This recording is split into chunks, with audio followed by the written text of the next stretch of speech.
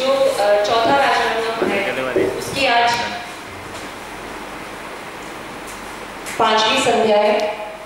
और पहले दिन आपने देखा था नाटक अग्नि और बरखा जिसके डायरेक्टर थे ज़फ़र खान जी। और दूसरे दिन आपने देखा नाटक बाप रे बाप जिसके डायरेक्टर थे दिनेश प्रधान जी। और तीसरे दिन देखा आपने the great Raja master drama company जिसके डायरेक्टर थे डॉक्टर जयंती ठाड़ा और कल आपने प्ले देखा था कि मैं औरत लक्ष्मी रावत जी की देशिका थी। और कल आप देखेंगे नाटक चिड़िया के बारे, जिसके डायरेक्टर हैं श्री के सिंह ठाकुर जी। और आज हम इन्हीं मंचित नाटकों के निर्देशकों से रूबरू होंगे। ये सभी निर्देशक आपके सामने होंगे। तो आज की जो संध्या है, सेमिनार की उसमें मैं मानिला भार्गव सिंह आप सभी का स्वागत और सत्कार करती हूँ। और मैं आमंत्रित करती हूँ हमारे मेहमानों से, हमारे डायरेक्टर से कि आप लोग आए और यहाँ मंच पे अपना स्थान ग्रहण करें। कृपया आए। लक्ष्मी रावत जी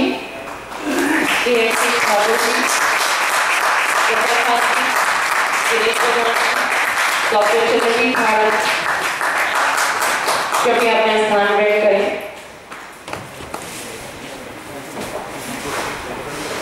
और एक मेहमान और हमारे बीच है Mrs Lakshmi Mrs Meenakshi ma'am जो कुल्लू से आई हैं और हैं। आप आइए मैम स्टार्ट करें मंच में कोई बात नहीं मैम आप भी आ जाइए। जोरदार ताली से स्वागत है आपका।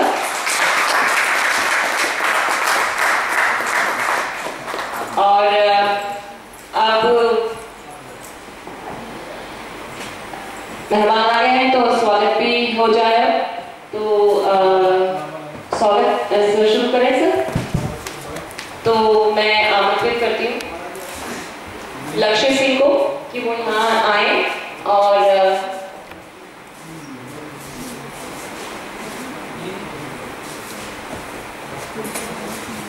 वो आए और यहाँ पे स्वागत करना शुरू करें। माला पहना के। लक्ष्य सिंह स्वागत कर रहे हैं प्रधान कर रहे हैं।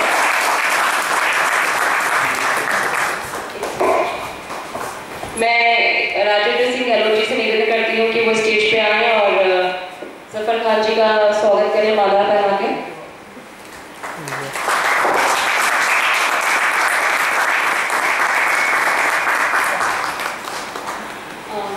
अब मैं सिंधु सर आपको आमंत्रित करती हूँ।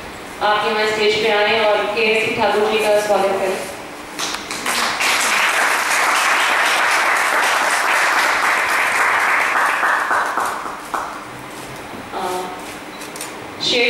आप आए और मैम का स्वागत करें, लक्ष्मी मैम का।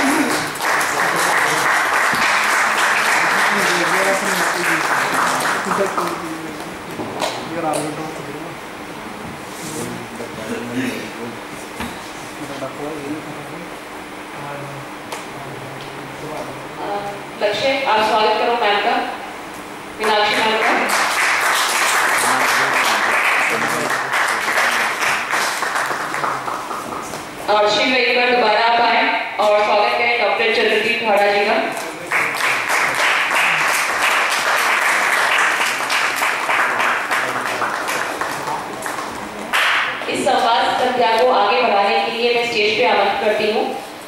डॉक्टर चंद्रजीत ठाड़ा जी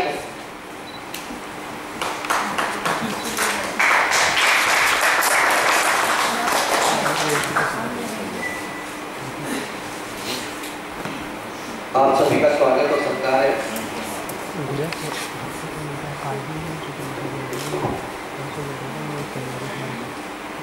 जैसा कि आप सभी जानते हैं कि 2013 से हम लोग राजस्थान रंग रंग महोत्सव, जिसे हम शॉर्ट में राज रंगम कहते हैं। 2013 से लगातार आयोजित कर रहे हैं। 2013 में मेरी रंगमंच के क्षेत्र में पीएचडी अवार्ड हुई थी और उसी पीएचडी को संस्कृति मंत्रालय, भारत सरकार की जूनियर फेलोशिप अवार्ड हुई थी और साथ ही एक ट्रैवलॉग सीरीज़ मैंने दूरदर्शन की की थी, दूरदर्शन राजस्थान की इन हाउस प्रोडक्शन था वो। डेजर्ट कॉलिंग जिसमें हमने राजस्थान के रॉयल लाइफस्टाइल से लेकर और ट्रैवल लाइफस्टाइल को बहुत करीब से देखने का मुझे एक अवसर प्राप्त हुआ था। वो धारावाहिक भी सन 2009 से आज तक डी पे ऑन एयर है। तो डी इंडिया पे डी नेशनल पे और समय समय पर डी राजस्थान में भी देख सकते हैं। सेवेंटी थ्री एपिसोड्स हैं। तो और ई टी राजस्थान के साथ भी एक प्रोजेक्ट एज ए डायरेक्टर काम करने का मुझे अवसर मिला था। तो मुझे लगा क्यों ना ये सोसाइटी के साथ शेयर हो। तो एक नाट्य समारोह की रूपरेखा बनी। और उसी के तहत लगातार हम ये प्रयास करते हैं आज यहाँ पहुँचे और इस बार हम चौथी बार ये आयोजन कर रहे हैं। और चौथी बार में हम इस आयोजन को राष्ट्रीय स्तर पे हालाँकि जयपुर का जो रंगमंच है वो वैसे भी राष्ट्रीय स्तर का ही हम प्रयास करते हैं कि वो नेशनल लेवल का टच उसमें रहता ही है हमेशा। चाहे डायरेक्टर वासु जी हों या सत्ताज जी हों या साबिर खान साहब हों या अर्जुन देव साहब हों या दिनेश प्रधान हों या गहलोत साहब हों या सिद्धू जी हों या ज़फ़र खान साहब हों या ऐसे और भी युवा जो हमारे साथी हैं, जो रंगकर्म यहाँ लगातार कर रहे हैं और स्तरीय नाटक बनाते हैं और जब उनका मंचन करते हैं तो वाकई में दिल को छूता है और लगता है कि हम भी किसी राष्ट्रीय स्तर के नाटक से कम काम नहीं कर रहे हैं। लेकिन इस, क्योंकि क्या होता है कि हमारे शहर की परिस्थितियाँ अलग हैं। अगर इतना ही काम हम किसी दूसरे स्टेट में करते तो शायद हमारी स्थिति कुछ और होती लेकिन बहरहाल हमें काम करते रहना है। चाहे परिस्थिति आज नहीं तो कल ज़रूर बदलेगी, ऐसे, ऐसा हमारे मन में विश्वास है। लेकिन इस बार, इस आयोजन को हमने दिल्ली से एक नाटक हमने आमंत्रित किया। हम पिथौरागढ़ से भी एक नाटक बनाने वाले थे, कैलाश शर्मा 2011 की। इसी जगह पे वर्कशॉप हुई थी। नाट्य की वर्कशॉप थी। और उस वर्कशॉप में वो स्टूडेंट थे। और वो हमारी घनिष्ठता घनिष्ठता इतनी बढ़ेगी हम अपने जो भी एक्टिविटीज़ होती है, वो सारी शेयर करते हैं। और इवन हम उस पर डिस्कशन करते हैं और एक दूसरे के सजेशन भी लेते हैं कि आगे हम काम को कैसे करें। तो मुझे लगा कि हमें उसको वो भी धौरागढ़ में बहुत अच्छा काम कर रहा है। तो हमने उसको इन्विटेशन भेजा था आने के लिए बट किसी परिस्थिति के कारण वो नहीं आ पाया। कोई बात नहीं, लेकिन उन्होंने एक नाम सजेस्ट कर दिया वो नाम था लक्ष्मी रावत जी का।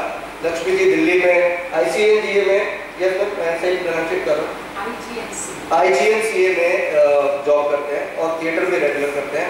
तो हमने उनसे रिक्वेस्ट किया वो आए कल आपने उनका नाटक देखा। आ, साथ ही हमने फेसबुक के थ्रू फेसबुक कितना बड़ा मीडिया है हम जानते हैं हमने इसको महसूस किया है साक्षात देखा है। हम जो भी एक्टिविटी करते हैं वो फेसबुक पे शेयर करते हैं और वो वो फेसबुक की एक्टिविटीज़ वर्ल्ड वाइड देखी जाती हैं। और ऐसे ही कुल्लू कुल्लू के जो रंगकर्मी हमारे बीच बैठे हैं, के सिंह ठाकुर साहब भी हमारी एक्टिविटीज़ कंटिन्यू वॉच कर रहे थे। और जब अभी जनवरी, फरवरी में आप जयपुर आए थे? फरवरी में जयपुर आए थे तो जयपुर आकर जब ये अपने रिलेटिव के यहाँ पे आए थे तो उन्होंने कहा, हम आपकी एक्टिविटीज़ देखना चाहते हैं, मैं आपको बहुत बड़ा फॉलोअर हूँ। फेसबुक से हमने आपको ट्रेस किया है और हम आपकी एक्टिविटी देखना चाहते हैं। उनका मोस्ट वेलकम हमारी वर्कशॉप रविंद्र मंच पे उस वक्त चल रही थी ये आए। और जब टीम से इंट्रैक्शन हुआ तो बहुत खुश हुए। और बात बात में एक एक एक इंप्रेशन ऐसा बना कि आ, कि हम आपके यहाँ पे आ, हमारा कल्चर लेके हैं आप अपना कल्चर हमारे यहाँ लेकर के आइए। तो एक सांस्कृतिक जो हमारी आदान प्रदान का भी परंपरा को हमने आगे बढ़ाने का प्रयास किया। और इसी कड़ी में वो सहजता से हमारा तय हो गया। हम कब कुल्लू में परफॉर्म करके आ गए कब ये यहाँ आ गए, ये सपना है जो आज साकार होता हुआ नज़र आ रहा है मुझे। वाकई में आज ये वो दिन है, और मतलब आज भी नहीं है दिन वो दिन कल है, जब वो मंच पे मंचित होगा नाटक और वो जो सपना हमने छः आठ महीने पहले देखा था, वो साकार हो जाएगा। इस बीच बहुत सारी परिस्थितियाँ उतार चढ़ाव संघर्ष अचीवमेंट्स सब रहे हैं और साथ ही रंगमंच तो संघर्ष और अचीवमेंट्स का ही दूसरा नाम है। तो रंगमंच भी अपने उसी रफ्तार से, उसी गति से चलता रहेगा। बहरहाल, इतने 25 साल के रंगमंच के साथ में की रंग यात्रा के साथ में बहुत सारे सवाल जहन में हमेशा उठते रहे हैं। लेकिन हमारा बात कहने का तरीका थोड़ा सा दूसरा है, क्योंकि जैसे कि हमारे जो यहाँ रंग करके साथी बैठे हैं, इनसे हमें गाइडलाइंस मिलती रहती है दिशा निर्देश मिलता रहता है। जैसा ये लोग सोचते हैं, कहीं ना कहीं हम भी वैसा ही सोचने का प्रयास करते हैं। तो हमें बजाय इसके कि हम सड़क पे खड़े होकर चिल्लाएँ, बेवजह की न्यूसेंस क्रिएट करें। हमारी बात कहने का तरीका थोड़ा सा अलग तरीके का है हम अपने बात को ट्रांसफॉर्म करते हैं आप तक वो बात पहुँचाते हैं। अगर आप उस बात को से सहमत होते तो आप वो बात आगे तक पहुँचाएँ, शालीनता के साथ, सभ्यता के साथ में, और वही हमारे पढ़े लिखे लोगों की पहचान। उसी सिलसिले में कुछ जो सवाल मेरे जहन में आए इस बार की रंग संगोष्ठी के लिए तो वो मैं एक बार आपको पढ़ देता हूँ। और उस संगोष्ठी के क्वेश्चंस के के बाद में हम एक इंटरेक्शन करेंगे। ये बहुत ही अनौपचारिक सा डिस्कशन है मतलब इसमें कोई भी ऐसा नहीं है, आपके दिमाग में कोई भी सवाल आता है, कोई भी क्वेश्चन उठता है तो आप डायरेक्ट बात करिए डायरेक्ट पूछिए, अपना अनुभव बढ़ाइए, अपना ज्ञान बढ़ाइए, क्योंकि यहाँ जो भी रंगकर्मी, जो डायरेक्टर्स बैठे हैं, वो कई सालों का बड़ा संघर्ष झेल के कड़े अचीवमेंट्स अच्छे अच्छे अचीवमेंट्स लेकर के यहाँ तक पहुँच रहे हैं, और हम आशा करते हैं पूरी इन्हें शुभकामनाएँ देते देते हैं कि ये आगे तक जाएँ और अपने राज्य का और देश का नाम भी रोशन करें। तो इस सिलसिले को आगे बढ़ाते हैं। और आज का हमने जो टॉपिक रखा है टॉपिक डायरेक्टर्स के साथ में हम टॉक करें ये बहुत टिपिकल सा सब्जेक्ट है। मैं जानता हूँ उस बात को, क्योंकि मैंने महसूस किया है। वासु जी जब यहाँ काम कर रहे थे, वासु जी सर, मैम, हमारे जयपुर थिएटर के एक बहुत बड़े दिग्गज डायरेक्टर थे बहुत ही रिनाउंड और बहुत लर्नड डायरेक्टर थे। आज की जनरेशन से उनका नाम सुनती है। क्यों भाई साहब? सही हमें वो अवसर मिला उनके साथ काम करने का। 1970 के दशक में कैलकाटा में national theatre national theatre competition में उन्होंने छः सात अवार्ड जीते थे और पूरे हिंदुस्तान के थिएटर में तहलका मच गया था। तो उनकी लाइफ उसकी जो डिज़ाइन थी प्ले के डिज़ाइन को देख करके अमोज वाले का सामने कहा था कि सर, आपका स्टाइल मुझे बहुत अप्रोच करता है। मैं इस स्टाइल को अपने नाटक में अडॉप्ट करना चाहता हूँ। तो सर ने कहा कि आपने देख लिया है तो आप इसको ले सकते हैं। तो उन्होंने कहा, नहीं सर, मुझे आपकी परमिशन चाहिए। तो ये सत्तर के दशक में बात हुई थी और उस वक्त अमोल पालेकर साहब ने कहा था कि आपका रंगमंच हमारे रंगमंच से दस साल आगे ये वाकई में हमारे लिए फख्र का विषय है कि हमारे एक डायरेक्टर ने वो मुकाम 1970 के दशक में छू लिया था। आज वो हमारे बीच में नहीं है तो हम उनकी कमी ज़रूर महसूस करते हैं लेकिन आ, लेकिन हम साथ में ये भी बात जानते हैं कि जब हम सबके साथ बैठते थे तो उनसे बात करना उनसे पूछना वो एक अब आधा घंटा तक एक घंटे तक बैठे हैं कुछ चिंतन मंथन कर रहे हैं हमारी हिम्मत नहीं होती थी सबसे कुछ पूछे सही है? मैं सही कह रहा हूँ? वो इस तरह के डायरेक्टर थे और जब वो काम करते थे मेरेकल करते थे एक्टर अगर उनका एक्टर एक्ट नहीं कर पा रहा बहुत अवसर देते थे उसको। एक्ट नहीं कर पा रहा, बहुत पेशेंसली हैंडल करते थे। और जब देख लेते थे, अब इससे हो नहीं रहा। तो चुपचाप से उसके पास जाते थे, उसके कान में पता नहीं क्या गुरु मंत्र देते थे और वो एक्टर काम करने लगता था। ये हमने साक्षात देखा है।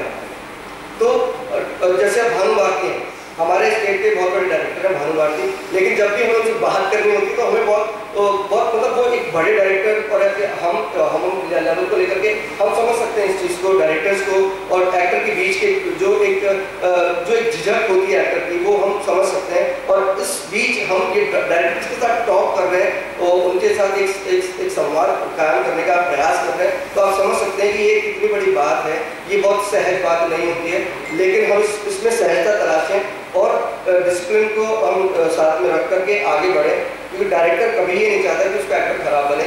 वो हमेशा चाहता है कि बेस्ट टू बेस्ट मैं अपने एक्टर को तैयार करके लाऊं। लेकिन साथ में एक्टर्स को भी समझना चाहिए कि डायरेक्टर ने अगर आपको अपने पास बैठने का अवसर दिया है तो आप सारी हदें पार ना करें। अपनी डिसिप्लिन अपने सभ्यता, अपनी संस्कृति और अपने संस्कार कभी नहीं भूलने चाहिए। जो एक्टर अपने संस्कार भूलने लगते हैं, वो एक्टर या वो फिर वो रंगकर्मी की श्रेणी से गायब हो जाते हैं। तो सबसे पहले रंगमंच हमें संस्कार सिखाता है, संस्कार को भी हमें साथ लेके चलना है। तो इस आयोजन में आमंत्रित निर्देशकों के रंग, व्यक्तित्व और कृतित्व पर तो हम चर्चा करेंगे। मतलब उन्होंने किस तरह से रंगमंच को जिया है, किस, क्या संघर्ष उनके रहे हैं, किस तरह से उन्होंने अपने आप को बनाया, नाटक कैसे बनाते हैं, और क्या क्या संघर्ष उन्होंने किए हैं, क्या अचीवमेंट उनके रहे हैं, वो तो हम पूछेंगे, वो आप पूछिए। सभी डायरेक्टर से पूछिए। साथ ही हम अपने रंगमंच को कैसे बेहतर और बेहतर बनाए। हमें वो भी सजेशन लेने हैं। ताकि आप जो नई जनरेशन रंगमंच की तरफ़ आ रही है, उन्हें दिशा निर्देश मिले। सिर्फ़ आप लोग से मैं ये भी बात शेयर करना चाहता हूँ। आप रंगमंच पे आए हैं, क्योंकि अक्सर ये हमने देखा है कि जीवन में हम कुछ नहीं करते, चलो रंगमंच कर लेते हैं। ये थॉट बहुत खतरनाक है। ये थॉट से रंगमंच का कभी भला नहीं होगा। अगर आप रंगमंच करना चाहते हैं तो वाकई में रंगमंच के लिए कमिटेड होकर आइए और रंगमंच को पढ़िए। रंगमंच में भी पढ़ाई होती है। सिर्फ़ रंगमंच करते मत रहिए। आप जैसे जो जो पिछला हमारी जनरेशन ने जितना कंट्रीब्यूट किया, वो बहुत हमारे लिए वैल्यूबल है। वो यहाँ तक ले आए हैं उससे लेकिन अब आगे आने वाली जनरेशन क्योंकि उस वक्त इतनी अपॉर्चुनिटीज़ पढ़ाई पढ़ाई लिखाई के इतने सेटअप नहीं थे। पढ़ने लिखने के इतने इंस्टीट्यूशन नहीं थे। लेकिन आज हमारे पास में वो इंस्टीट्यूशन बन रहे हैं अवेलेबल हैं। तो आप लोग सिर्फ़ रंगमंच ही ना करते रहें, उसके साथ उसकी पढ़ाई भी करते हैं तो आप डबल स्पीड से ग्रो करेंगे और तैयार हो जाएँगे। दूसरा जो मुद्दा आज मैं रखना चाहता हूँ कि राज्य के रंगमंच में बेरोजगारी एक अहम समस्या है। हम पढ़ लिख करके इसका दूसरा पहलू, जो मैंने बात की कि हम पढ़े लिखें और डिग्रियाँ हासिल करें, लेकिन क्या पढ़ लिख करके डिग्रियाँ हासिल करने तक ही हमारा, हमारी जर्नी है या उसके आगे भी कुछ हमें मिलना चाहिए? क्या हमारी हमारा जो उद्देश्य है, हमारी जो यात्रा है वहीं तक सीमित होनी चाहिए? या हम, हमें उसके आगे अवसर मिले? क्योंकि ये सब हम नहीं क्रिएट कर सकते, हम सिर्फ़ प्रयास कर सकते हैं। तो बेरोजगारी एक बहुत बड़ा मुद्दा है। P H D NET scholarship fellowship D करके बहुत सारे हमारे रंगकर्मी हैं, जो यहाँ पे बेरोजगार घूम रहे हैं, उनको भी देखें पिछली बार भी हमने जब चर्चा की थी तो हमने इस बात को उठाया था। एक अखबार ने ये छाप दिया था कि उच्च शिक्षित रंगकर्मियों को रोज़गार दे सरकार, लेकिन आज तक कहीं से कोई हलचल नहीं है ये मैं आपसे शेयर करना चाहता हूँ। तो हमें ऐसा भी कोई रास्ता निकालना चाहिए ताकि हम तो अपनी तरफ़ से प्रयास कर रहे हैं रंगकर्मी प्रयास करता ही है, वो वर्कशॉप करता है तो उसको अपना सर्वाइवल देखता ही है, लेकिन वो काफ़ी नहीं है। एक वर्कशॉप कर लेगा, दो वर्कशॉप कर लेगा, फिर गैप आ जाता है। तो तो सर्वाइवल तो रोज़ाना के लिए ज़रूरी है, रोज ही चाहिए। तो एक ये मुद्दा है क्योंकि अगर इस वक्त जो जनरेशन हायर एजुकेशन लेके काम कर रही है, अगर उनका सर्वाइवल नहीं दिख रहा है तो नई जनरेशन वो भी स्टडी कर रही है। कि हमारे सीनियर्स को सर्वाइवल नहीं मिल रहा है उनसे बेरोजगारी में घूम रहे हैं तो हमारा क्या? हमारा क्या फ्यूचर तो हम क्यों ना मुंबई जाए? और हम उनको फिर मुंबई जाने से कैसे सकते ये बहुत बड़ा सवाल है। इस बारे में मंथन होना चाहिए, चिंतन होना चाहिए। तीसरा मेरा सवाल ये है क्या राज्य और केंद्र सरकारों से जो अनुदान प्राप्त होते हैं हम सब लोग को जो भी अनुदान लेके काम कर रहे हैं, क्या वो रंगमंच की नियमितता बनाए रखने में सार्थक है? या फिर कोई और विकल्प होना चाहिए? क्योंकि सरकारें भी अनुदान बहुत लंबे समय तक नहीं देंगी। तीन बार, चार बार, पाँच बार, छह बार, फिर एक बार वो भी कहेंगे, यार, इतने टाइम से आप अनुदान ले रहे दूसरों को भी मौका दो। अपने स्तर पर प्रयास करो। तो क्या अनुदान ही हमारे पास में एक विकल्प है? या हमें इस बारे में कुछ और सोचना चाहिए या भी सोच लेना सोचना शुरू कर देना चाहिए? चौथा मेरा सवाल ये है कि क्या दिन भर किसी और जगह पर नौकरी करने के बाद फिर हम रंगमंच में आए और रंगमंच को करें, रंगमंच में समय दें तो क्या हम सोसाइटी के साथ में और रंगमंच के बीच में कुछ सामंजस्य बिठा पाएँगे? क्या कुछ बदलाव ला पाएँगे? या फिर इसे भी फुल टाइम की तरह से हमें देखना चाहिए ये मेरा प्रश्न है। और मेरा पांचवा सवाल है, जो हमारे कुछ उच्च शिक्षित रंगकर्मी हैं उनके लिए हमें किस तरह के अवसर हम उनके लिए तलाशें या किस तरह के अवसर उन्हें मिले, ये इस बारे में हम चर्चा करें, क्योंकि ये भी एक बहुत बड़ा सवाल बनता है। कि स्टेट गवर्नमेंट को मतलब सजेशन भी है कि स्टेट गवर्नमेंट भी ग्रांट्स सबको देती है। ग्रांट्स के बेस पे थिएटर हो रहा है, इसमें कोई शक नहीं है। लोग काम करने का प्रयास कर रहे हैं। मैं सबकी गारंटी नहीं लेता, लेकिन कुछ लोग हैं जो वाकई में काम कर रहे हैं। सब लोग तो कहीं पे भी काम नहीं कर रहे हैं। कोई भी हम सब हंड्रेड परसेंट की गारंटी कोई नहीं ले सकता, लेकिन कुछ परसेंटेज है जो बहुत अच्छा काम कर रहे हैं। तो ऐसे में जब स्टेट गवर्नमेंट जब पैनल बनाती है तो वहाँ पर क्यों ना इन जो शिक्षक रंगकर्मी है, उनकी सहायता ली जाए, उनसे उनके सजेशंस लिए जाए ताकि कहीं ना कहीं कुछ सार्थक परिणाम निकलते हैं ऐसे मुझे लगता है, ये मेरा सजेशन है। और मेरा छठा और अंतिम सवाल जो है, आज के इस जो मैं आपके सामने रखना चाहता हूँ इतना करने के बाद भी, कितना रंगकर्मी को समय देने के बाद भी, कितना संघर्ष करने के बाद भी, क्या क्या पलायन ही एकमात्र हल है? आप सोचिएगा ज़रूर थैंक यू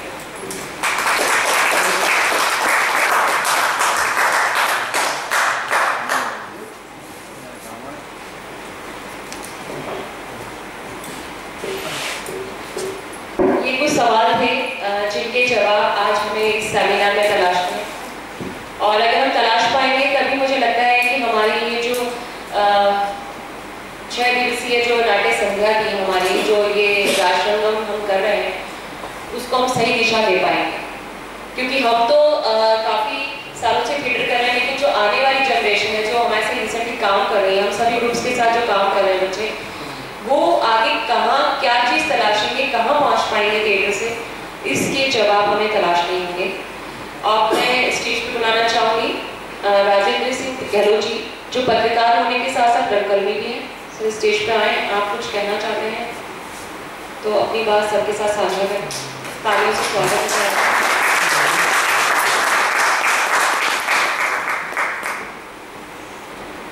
धन्यवाद।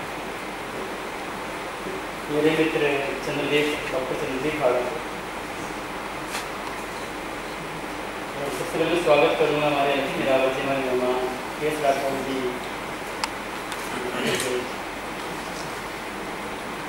दिनेश प्रधान जी तो मेरे मित्र हैं। हम एट्टी सेवन में एक ही वर्कशॉप में यहाँ पर आए थे। ज़फ़र खान साहब अब हमारे अज़ीज़ मित्र हैं तो ये तो अपने परिवार की तरह है, सारा कुछ। आज उन्होंने सुंदरी फाड़ा की ज़िम्मेदारी सौंपी मेरे ऊपर कि आप थोड़ा एक कमेंट्स करें। आपने थिएटर भी किया और आप पत्रकार भी। तो इन दोनों के लेकर आप क्या सोचते हैं? किस तरह की चीज़ें होती हैं?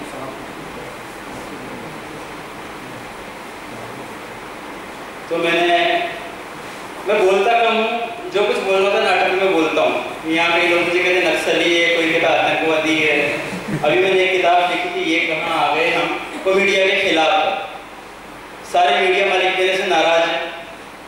लोग कहते हैं कि अरे यार, मीडिया में रहना है कि नहीं रहना? डॉक्टर महेंद्र मधुर जी यशवंत व्यास जी, जिनका भी यही कहना है। जो कुछ लगता है सटीक लिख देता हूँ। बोलता कम लेकिन आपके इतना तो बोल रहा है वगैरह बोलता कम हूँ तो मैंने एक आर्टिकल लिखा है। थिएटर और सांस्कृतिक पत्रकारिता को लेकर। वो मैं अखबार में छपने के लिए है ये। लेकिन आज इनका प्रेम है कि मैं अखबार में छपने के पहले आपको सुना रहा हूँ। थिएटर व सांस्कृतिक पत्रकारिता के रंगरूटों से कला जगत को खतरा जिसे अनदेखा नहीं किया जाना चाहिए। हर बेरोजगार टीवी व फ़िल्म के पर्दे पर सलमान खान और शाहरुख खान बनने की आशा में थिएटर पर आ जाता है और हर बेरोजगार फ़िल्म स्टार्स और सेलिब्रिटीज के साथ बात करने, उनके साथ सेल्फी खिंचवाने की आशा में किसी अखबार में जाकर सांस्कृतिक पत्रकार बन जाता। है और अगर बड़ा बैनर मिल जाए तो समझो बंदर को हल्दी की गांठ मिल गई और वो खुद को फिर पंसारी समझने लगता। मेरे मित्र डॉक्टर चंद्रदीप हाड़ा मुझे बता रहे थे कि हमने थिएटर किया, साधना की, अपना जीवन झोंका तब इस लायक हुए हैं। आजकल लड़के लड़कियाँ थिएटर में आते हैं हीरो हीरोइन बनने। दूसरे नाटक में तो डायरेक्टर बन जाते हैं। तीसरे नाटक से पहले या तो क्राइम पेट्रोल करने लगते हैं या फिर बम्बई चले जाते हैं या फिर सरकार में अनुदान की फ़ाइल लगा दी जाती है और अनुदान नहीं मिलने पर चाय की खड़ी पर बैठकर सरकार को गालियाँ दी जाती और जिनको अनुदान मिल गया, उनके खिलाफ तथा कथित सांस्कृतिक पत्रकारों को भड़काया जाता फिर वह उनके कहने पर, उनके कहे अनुसार अनुदान की खबरों के पीछे लग जाते हैं। वह पाँच दस मिनट का नाटक देखकर पूरे नाटक के बारे में टीका टिप्पणी कर देते हैं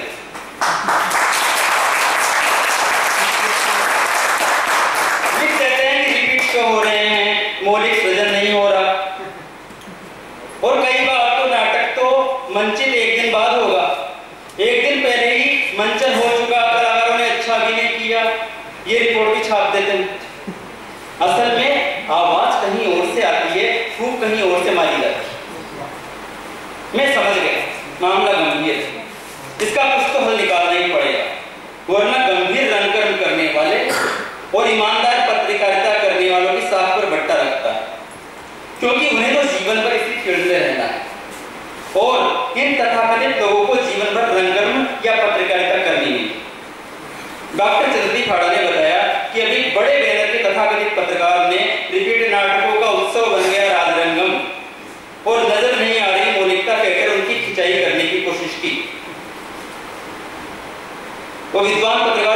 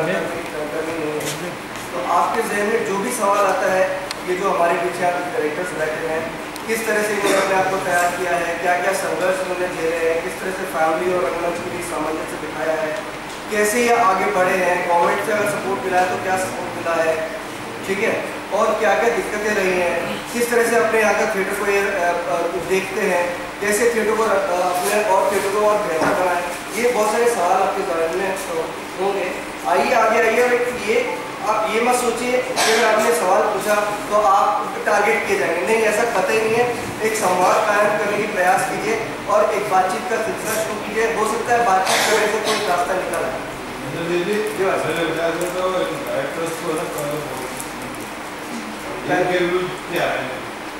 वो क्यों सही से आएँगे अगर वो वो बोलते जाएँगे तो फिर अच्छा आप ऐसा ठीक है ठीक है ठीक है और चाहे कोई भी आ रही लक्ष्मी राजा जी आप आ जाइए पहले।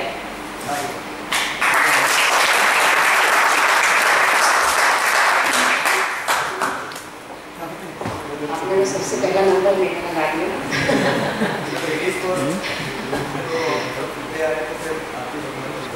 सबसे पहले शुक्रिया हाडा जी मोनिका जी और यहाँ की पूरी आपकी टीम का जिन्होंने मुझे जयपुर में बुलाया।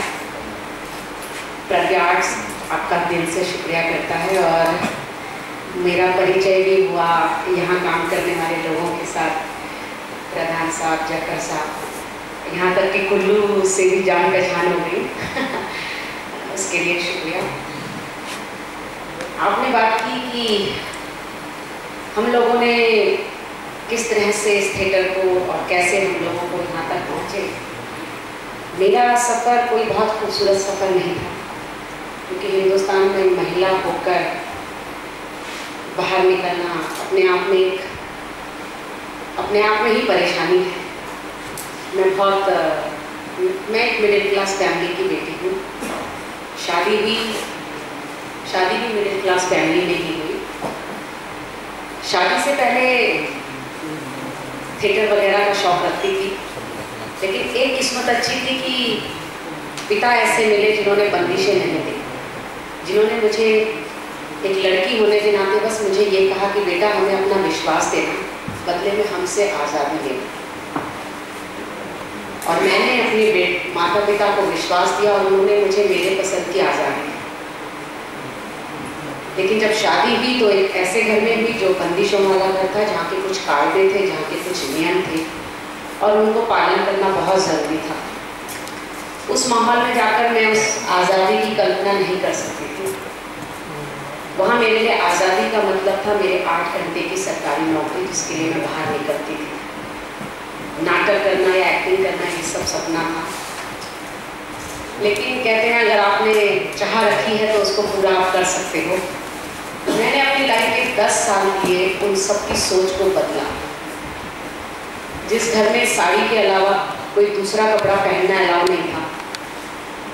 जहाँ बालकोनी में या छत में खड़ा होना भी अलाउ नहीं था। दस साल की मेहनत लगी मगर मैंने उन सबको बदला। उन्हें यकीन दिलाया कि आप विश्वास दीजिए, आज़ादी भी दीजिए, आपको हमेशा उसका फ़ायदा मिलेगा। और आज ये हालत है कि मुझे नहीं मालूम होता मैं आज किस स्टेट में हूँ और कल किस स्टेट में हूँ। मैंने अपनी बिटिया तक को इस लाइन में लाई। और उससे पूरी आज़ादी है, उसके पापा की तरफ़ से भी कि वो इस इस लाइफ को भी जी सकती है। लेकिन सरकारी नौकरी के साथ आपको थिएटर को भी करना है, आपको अपने बच्चे भी संभालने हैं, आपको घर जाके खाना भी बनाना है। क्योंकि आज़ादी मिली लेकिन इस कंडीशन पे कि कोई नौकर नहीं रखा जाएगा, आपको घर खुद संभालना है। तो आपको अपने बच्चे भी पालने हैं, आपको घर का काम भी करना है, आपको थिएटर भी करना है, आपको ऑफ़िस भी देखना है। तो किया। सुबह उठे, घर का काम निपटाया ऑफ़िस आए ऑफ़िस से थिएटर सीखने गए, मंडी हाउस रात को नौ बजे वहाँ से निकले, फिर घर आए, खाना बनाया, अपने बच्चों को देखा। सब किया, लेकिन शायद वो मेहनत थी कि आज। यह है कि कम से कम हमें कुछ लोग नाम से पहचानते हैं, जिस नाम की चाह अंदर थी। मीडिया भी किया। सीरियल्स किए। हर हर स्टेट के दूरदर्शन के लिए काम किया, लेकिन एक वक्त आया कि लगा कि नहीं, जो सच्चाई मैं नाटक के थ्रू दिखा सकती हूँ, वो मैं मीडिया के थ्रू वो नहीं मज़ा आया। लगा बहुत कुछ झूठ जीते हैं हम। लोगों को लोगों को इंटरटेन करने के लिए बहुत कुछ ऐसा कर रहे हैं जो कि नहीं ज़रूरी है। लेकिन नाटक ऐसा आप जो है, जैसे हैं, आप उसको स्टेज पे दिखाइए। उसी वक्त आपके लिए तालियाँ या उसी तरह आपके लिए गालियाँ जो दोनों हैं आपकी आँखों के सामने होंगे। कुछ नकली नहीं होगा। तो थिएटर को चुना। लेकिन हाँ ये सच है कि आज जो बच्चा थिएटर करने के लिए आता है, वो थिएटर के लिए नहीं आता, वो सलमान और शाहरुख खान बनने के सपने लेकर आता है। ये बहुत बड़ा सच है। बहुत कम बच्चे हैं जो ये सोच कर आते हैं कि हम थिएटर करेंगे और हमने आगे थिएटर को ही जीना है।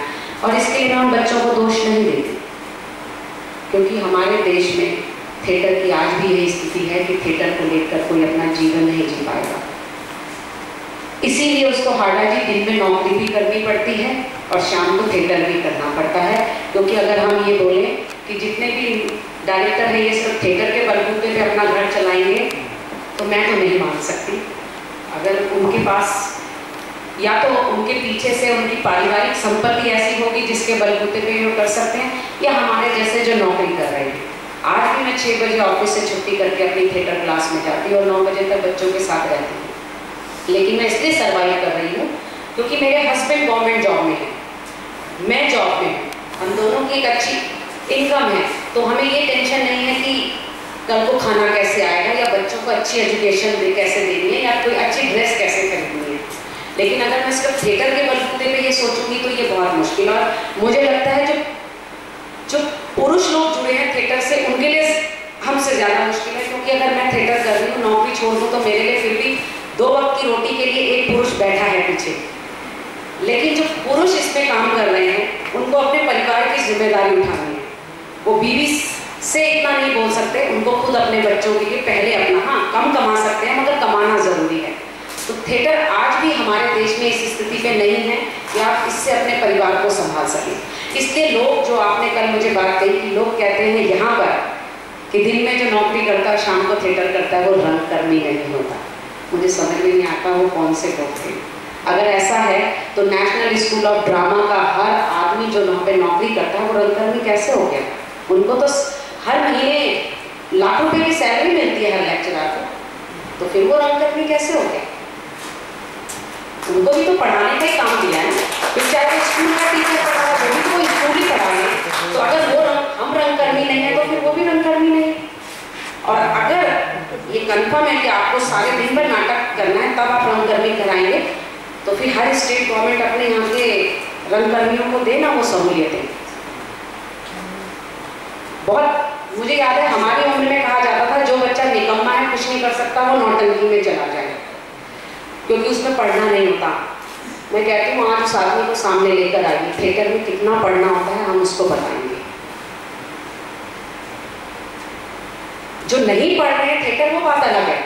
लेकिन जो थिएटर के लिए ही आए हैं थिएटर में, उनको अगर अपडेट नहीं रहेंगे, उनको हर नए नाटक, हर पुराने नाटक की समझ में नहीं होगी तो वो काम कैसे करेंगे? जब तक आपके पास किताबें नहीं होंगी थिएटर को पढ़ने के लिए, आप यहाँ पर खड़े होकर बड़े बड़े राइटर्स के ऊपर कैसे बात कर सकते हैं? बड़े बड़े नाटककार के ऊपर कैसे बात कर सकते हैं जब आपने कभी नाटक नहीं देखे, जब आपने कभी नाटकों की किताब नहीं पढ़ी, जब आप बड़ी बड़ी चार पाँच नाम सुनते हैं और उनके बारे में बड़ी बड़ी बातें करने लग जाते हैं तो पहले आप जानिए तो सही वो नाम बने कैसे। आज आपके सामने जो लोग बैठे हैं, शायद 10-15 साल के बाद आप इनके बारे में भी बातें कर रहे हैं।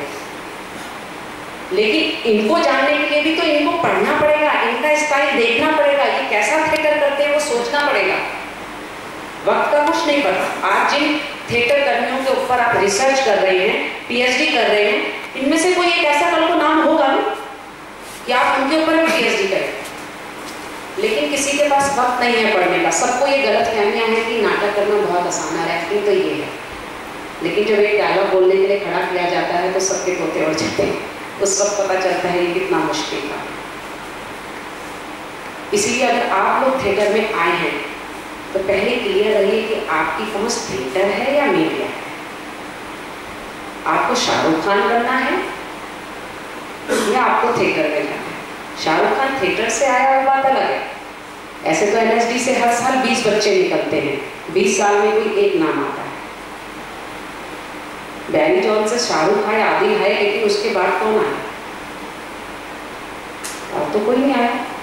बैरी जॉन की तो आज हर स्टेट में सर्टिफिकेट कोर्सेज चल रहे हैं, और मुझे लगता है चार महीने के दो लाख रुपए वो लेते हैं। मेरे पास आस आठ स्टूडेंट हैं बैरी जॉन से आठ।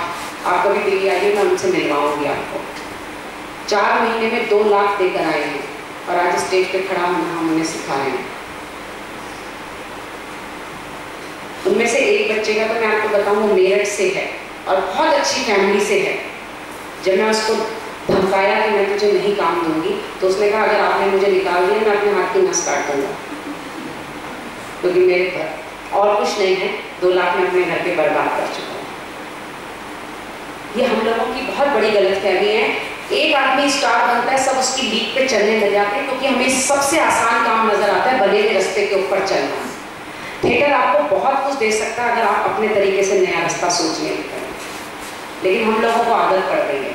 हम पुराने रंगकर्मी के पास जाते हैं उससे पूछते हैं तू कैसे चला था? फिर वो बताते हैं मैं ऐसे ऐसे चला था। फिर हम भी वैसे वैसे चला। वो बोलता है उसने भी अपने से किसी उससे कैसे कैसे चला था? तो हम पिछले 25-30 सालों से बस वैसे वैसे ही चल रहे हैं। कोई भी ये नहीं सोच रहा कि अब मैं ऐसे ऐसे नहीं चलूँगा, मैं तो ऐसे चलूँगा। इसीलिए सरकार भी स्टेट गवर्नमेंट भी वही कर रही है।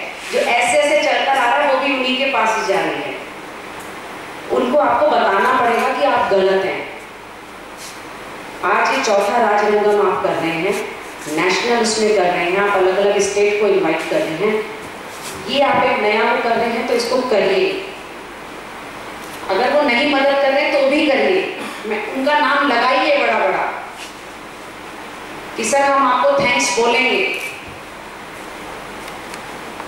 कोई दिन तो आएगा जब आप हमारी हिम्मत को दाद देंगे, और उस दिन शायद आपको शर्म आएगी कि यार, हमें बहुत पहले उंगली पकड़ लेनी चाहिए और जिस दिन आपको आ जाएगी, हम कामयाब हो जाएँगे। क्योंकि तो ये बात सिर्फ़ राजस्थान की बात, जयपुर की नहीं है। दिल्ली में भी थिएटर हो रहा है, बहुत हो रहा है। जैसा कि आपने बोला कि एक प्ले करते हैं मैंने बोला, एक प्ले करते हैं और दूसरे प्ले में डायरेक्शन करने के लिए आ जाते हैं। बहुत बड़ा सच है। इसलिए आपको वहाँ बहुत सारे थिएटर कंपनियाँ मिलेंगी। और वहाँ पर आपका अच्छा थिएटर इस बात पे नापा जाता है कि आपने कितने शो करे आपने एक करा क्वालिटी दी, वो नहीं। आपने 500 करे क्वांटिटी दी क्वालिटी की ऐसी तैसी उससे कोई फ़र्क नहीं पड़ता। ये वहाँ का भी रोना है। और आप तो फिर भी आप जैसे लोग यहाँ पे काम तो कर रहे हैं, मैं उत्तराखंड गई थी, आप रोएँगे वहाँ की थिएटर की हालत को देखकर। हम यहाँ के थिएटर इस आपके ऑडी को देखकर हम लोग इतने खुश में मैं बता नहीं सकती। आप कभी पौड़ी जाइए थिएटर करने के लिए, वहाँ पे नवांकुर करके ग्रुप है। वहाँ छः सात साल का बच्चा एक्टर है। आपको पता है वो जब महोत्सव करते हैं वो सुबह उठ के सारे आर्टिस्ट किचन में बैठ के सब्ज़ी काट रहे होते हैं। फिर वो खाना बनाते हैं। फिर बर्तन धोकर वो सारे बाहर से आए हुए ग्रुपों को खाना परोसते हैं। उनको खाना खिलाकर उसके बाद वो सारे बर्तन धोते हैं, उनको सेट करते हैं और उसके बाद वो स्टेज पे जाके स्टेज का काम करते हैं और रात को वो शो करते हैं एक्टर बन जाते हैं और फिर घर में आकर वो रात को रोटियाँ बनाते हैं। आपके कमरे की नाली ब्लॉक हो गई तो हाथ में पॉलीथीन डालते हैं और नाली साफ़ करना शुरू कर देते हैं। और दूसरे दिन वो फिर रिहर्सल करते हुए एक्टर बन जाते हैं। जब उन लोगों को देखते हैं तो मन करता है इनको सल्यूट करें लेकिन दुख होता है कि कब तक करेंगे? कब तक? एक दिन वो भी लड़का अठारह का होगा, उसके बाप भी कान पे थप्पड़ मार कर बोलेगा, बेटा, रोटी कहाँ से खाएगा? उस वक्त हमारी बड़ी बड़ी बातें सब धरी रह जाती हैं।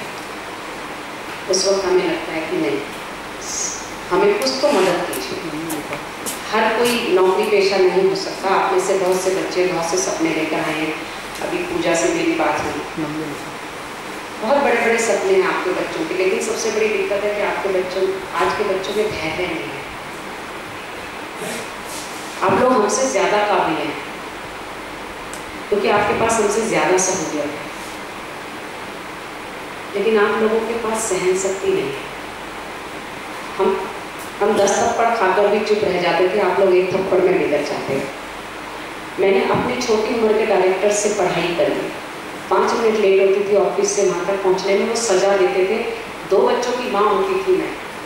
बाहर, दरवाजे के बाहर खड़ी होती थी और अठारह अठारह साल के बच्चे अंदर रिहर्सल कर रहे थे दीदी लक्ष्मी दीदी लेट आ गई, आज फिर सजा खाई और मेरा डायरेक्टर मुझसे कम से कम पाँच से सात साल छोटा था। लेकिन मेरी गलती है। मगर आज के बच्चे को अगर चार दिन डायरेक्टर ने बाहर खड़ा कर दिया कहेंगे बेकार है, दूसरे के पास चलते हैं। आप लोग हमसे ज़्यादा खुश नसीब हैं, क्योंकि आप अगर अपने माँ बाप को समझाएँ तो वो समझ जाएँगे। हमारे माँ बाप नहीं समझ पाते लेकिन सिर्फ़ ये है कि आप लोगों के पास सहन शक्ति की कमी आप लोग उन्होंने बहुत अच्छी बात बोली है कि गुरु का सम्मान। हम लोग आज भी गुरु का बहुत सम्मान करते हैं। जिन जिन से हमने पढ़ा है, आज भी अगर वो कहीं हमें मिल जाए हमारे लिए, वो आज भी हमारे भगवान हैं, क्योंकि जो भी आज हम सीखे, हम उनकी बदौलत सीखे। आजकल के बच्चों में वो सब खत्म होता है। बहुत कम लोग इतने खुशनसीब हैं इतने अच्छे स्टूडेंट हैं अगर आपको एक अच्छे गुरु की ज़रूरत है ना तो हमें भी अच्छे स्टूडेंट की ज़रूरत है। हर गुरु चाहता है कि उसके पास एक अच्छा स्टूडेंट है। पचास नहीं सौ नहीं होगा, एक ये हर गुरु की ख्वाहिश होती है। क्योंकि जिस दिन आप गुरु बन जाएँगे ना, उस दिन ये ख्वाहिश आपके अंदर पैदा होगी, क्योंकि वही बच्चा आपको ज़िंदा रखेगा। इसलिए नाटक और सबसे बड़ी बात है, मीडिया आपको ये चीज़ नहीं सिखाता। मीडिया आपको सिर्फ़ एक मशीन बना देता है। हमने मशीन बन के देख ली है आप बहुत पब्लिसिटी होगी। आपके पास सारी दुनिया होगी, लेकिन वो सारी दुनिया को जीने के लिए आपके पास वक्त नहीं होगा। लेकिन थिएटर जो सिखाता है, वो सबसे पहले सिखाता है आपको कॉन्फिडेंस थिएटर आप खूबसूरत नहीं होते, लेकिन आपको एहसास करवाता है आप बहुत खूबसूरत हैं आपको बात करना नहीं आता, आपको लगता है आप प्रेजेंटेबल नहीं हो, लेकिन थिएटर आपको सिखाता है कि आप बहुत प्रेजेंटेबल हैं। आपको बोलना सिखाता है। आपको हंसना सिखाता है। आपको रोना सिखाता है। और सबसे बड़ी बात है, आपको अपने एक्सप्रेशंस को सामने वाले को दिखाना सिखाता है। हम लोग इसीलिए फेल होते हैं, बहुत से लोग, उनके पास शब्द नहीं होते कि वो कैसे दिखाएँ सामने वाले को। कि उनके पास, उनके अंदर क्या चल रहा है? हमारे को थिएटर ये सिखाता है इसीलिए मैं ये भी बोलूँगी, आप मीडिया की तरफ़ जा रहे हैं तो गलत वो आपका सपना है और अपने सपने को जीने का आपको पूरा हक है। लेकिन अगर आप थिएटर सिर्फ़ मीडिया के लिए जी रहे हैं तो मैं कुछ नहीं कह सकती। उसमें आप अच्छी एक्टिंग सीखिए और मीडिया करिए। लेकिन अगर आप थिएटर को थिएटर के लिए कर रहे हैं तो सबसे पहले अपने अंदर सहन शक्ति लाइए क्योंकि उसके लिए थिएटर को बहुत ज़रूरत है। आपको एक एक साल काम करना पड़ेगा, तब जाकर आपको एक करेक्टर समझ में आएगा। एक महीने में हम कभी करेक्टर नहीं जी पाते तो हम बहुत जल्दबाजी करते हैं, वक्त की नज़ाकत है क्या करें। लेकिन थिएटर में लिए आपको वक्त देना होगा। थिएटर में एक दिन में या एक साल में या नहीं आ सकता। थिएटर तो हम अभी तक सीख रहे हैं। मुझे नहीं लगता यहाँ पे कोई डायरेक्टर ये बोल दें कि हम सब कुछ सीख चुके हैं। अगर आप महान अमिताभ जी की बात करते हैं तो वो भी आज भी यही बोलेंगे कि मैं एक और ऐसा रोल जीना चाहूँगा। थिएटर वो है। लेकिन थिएटर लंबा रेस का घोड़ा है।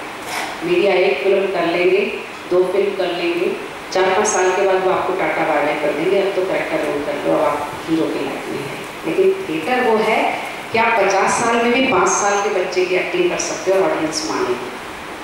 और दस साल का बच्चा भी साठ साल के आदमी की एक्टिंग कर सकता है पब्लिक माने इतना कॉन्फिडेंस देता है थिएटर बाकी, जहाँ तक स्टेट गवर्नमेंट की बात है तो मुझे तो लगता नहीं यहाँ पे कोई स्टेट गवर्नमेंट के नुमाइंदे बैठे हैं। जो हम उनके सामने तक ये बात कहते या कुछ करते।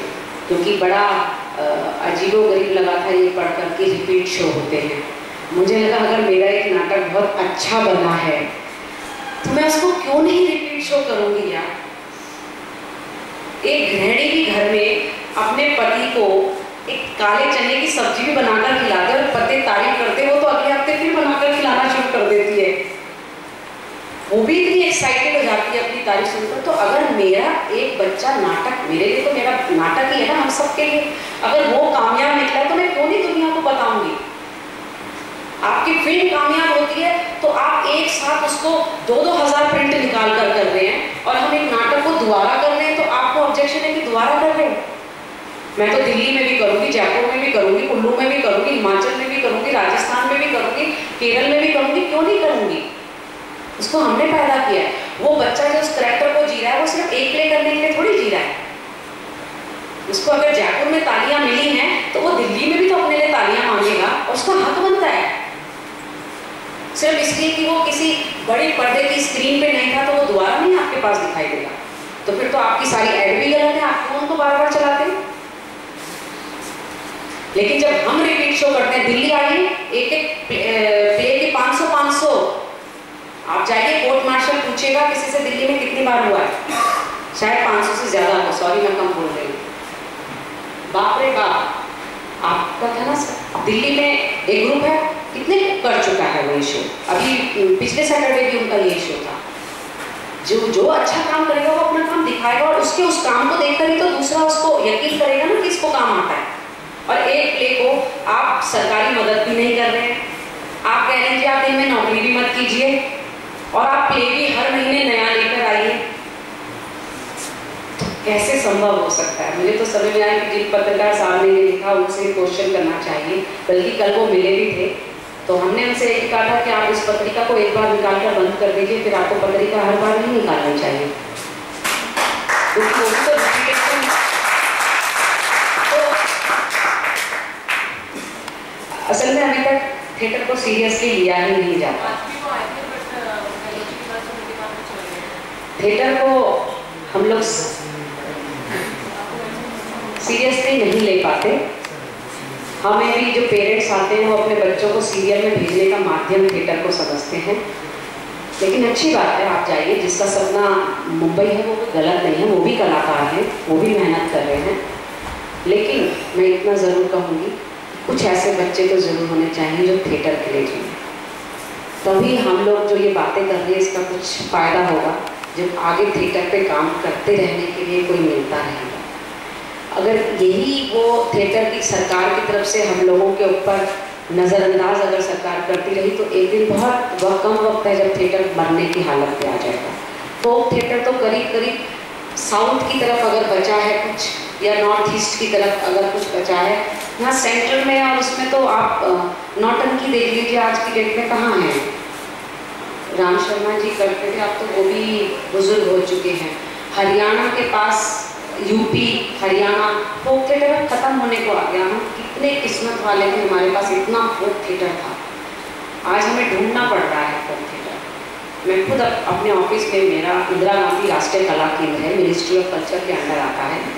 हम उसमें रिसर्च वर्क करवाते हैं आप ही जैसे स्टूडेंट आते हैं पूरे वर्ल्ड से आते हैं। हमारी एक बहुत बड़ी लाइब्रेरी है। हमारी एक बहुत बड़ी वेबसाइट है। हमारे डिपार्टमेंट में अ, हम लोग लोग पे काम करते हैं, हम फोक पे काम करते हैं। एक डिपार्टमेंट है जो सिर्फ़ पब्लिकेशन चलाता है। एक हमारी बहुत बड़ी लाइब्रेरी है। उसके अलावा हमारा एक, हमारी पूरे साल भर एग्जीबिशंस लगती है। इसी साल से हमने स्टूडेंट्स के लिए बहुत रीजनेबल रेट में वो क्लासेस शुरू करी हैं। अलग अलग सब्जेक्ट्स के ऊपर जो स्कॉलर पढ़ना चाहते हैं ट्वेंटी थाउज़ेंड ईयरली शायद, जो कि बच्चा बहुत आराम से उठा सके। अलग अलग सब्जेक्ट्स पे है। लेकिन हम देखते हैं हमारे को फोक आर्टिस्ट ढूँढने के लिए कितनी मेहनत करनी पड़ती है। क्योंकि उनको पता है इसमें पैसा ही नहीं है क्या करें। हमेशा नॉर्थ जोनल कल्चर सेंटर या साउथ जोनल सेंटर के पास जाकर हाथ जोड़ने पड़ते हैं कि कहीं हमारा नाम भी रिकमेंड कर दीजिए। तो हम भी जाएँगे और परफॉर्म करके आ जाएँगे। और जब आप किसी के आगे हाथ जोड़ते हैं तो आप हमेशा नीचे हो जाते हैं और जिसके आगे आप हाथ जोड़ेंगे, वो हमेशा ऊपर हो जाता है। तो कलाकार को इतना बड़ा शब्द होने के बाद भी आज हाथ जोड़ने पड़ रहे हैं। तो इसी से पता चलता है कि हमारे देश में भी क्या हालात है। तो अगर आप में से कुछ बच्चे कल को थिएटर को ही जीना चाहें तो उनको अभी से ही तैयारी करनी होगी कि उनको किस तरह के हालातों से गुजरना है। और इसके लिए फाइट करने की अगर उनको लगता है हिम्मत है तो वो ज़रूर थिएटर को जिए। हम तो चाहेंगे कि थिएटर आगे बढ़े। हम भी जी रहे हैं, रात दिन मेहनत कर रहे हैं। तो आप में से अगर कुछ हैं तो ज़रूर आगे बढ़िए। बहुत बहुत शुक्रिया थैंक यू लक्ष्मी मैम और अब मैं बताना चाहूँगी के आर सिंह जी।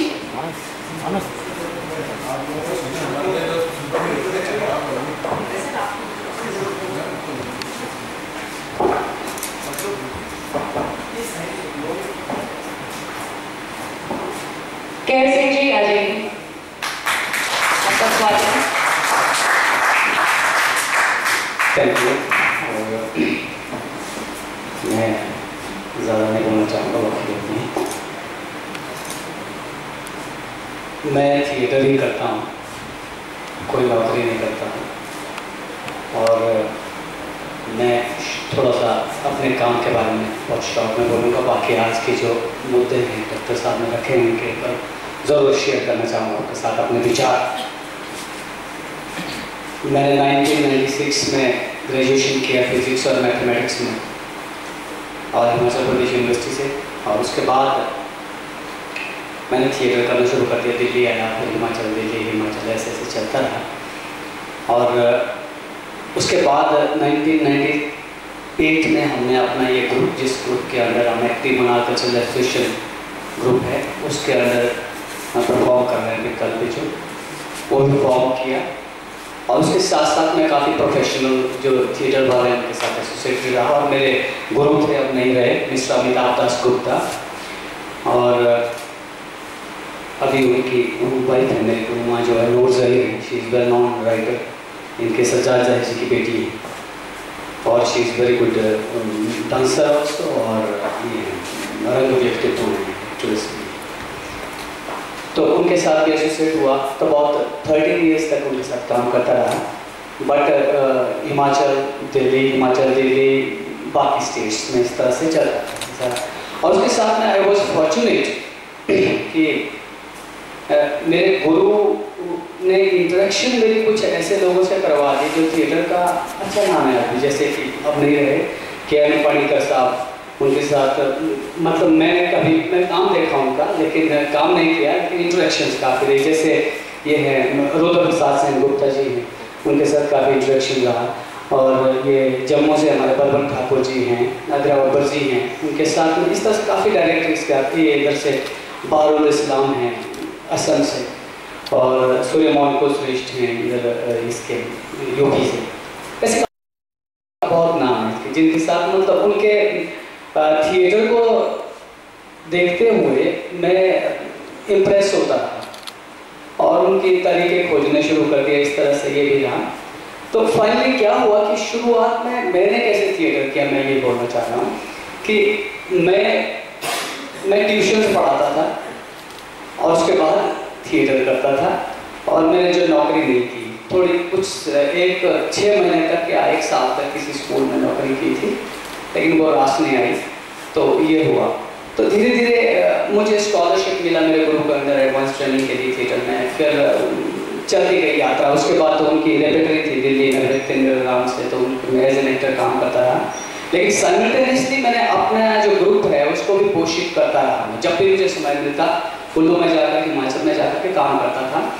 लेकिन शुरुआत ऐसे ही कि मेरे पास कहीं से पैसा नहीं था। हिमाचल इस मामले में बहुत, आज तो नहीं है, पहले बहुत ड्राई स्टेट थी। आज से पंद्रह साल पहले जो है थिएटर के नाम पे कुछ खर्च नहीं होता था वहाँ पे। कभी सम्मेलन आज भी होते हैं, पहले भी होते थे। जो कल्चर डिपार्टमेंट वो करवाता है। और उसके अलावा वो फोक डांसेस वगैरह फोक सॉन्ग्स वगैरह की जो परफॉर्मेंसेस हैं, इस तरह से करते हैं और थिएटर करता रहा और जुड़ते गए जुड़ते गए इस तरह से बहुत रहा। लेकिन एक समय आया दैट वाज 2010 नाइन मान के चलिए। तब तक मैंने ग्रुप भी ठीक कर दिया था, लेकिन हमारे पास कोई ग्रांटीनेड ऐसा कुछ नहीं था। तो एक समय आया देन माय गुरु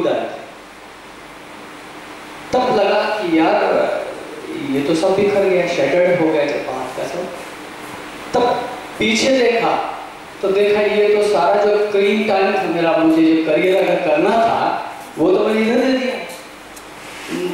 तो क्या करें? कैसे करें? ये, सब ये हो गया। तो उसके बाद घूम करके मैंने देखा कि मैंने सोचा कि मैंने तो इसी को टाइम दिया तो इसी को दे देता हूँ। देख ले, ऊपर वाले का नाम लेकर के कमर कस ले और उसी साल में मुझे फेलोशिप मिला मिनिस्ट्री से, दो साल के लिए। तो फैमिली भी थी और मैंने कहा, चल, तब साढ़े सात हज़ार रुपये मिलता था पर मैंने कहा, चलिए, छोटे शहर की ज़्यादा, छोटी जगह की ज़्यादा ज़रूरतें नहीं होती। तो मैंने कहा, चलिए, फ़िलहाल बेसिक तो हो ही गया। चलो रिसर्च भी करते हैं और चलिए, ये हो गया।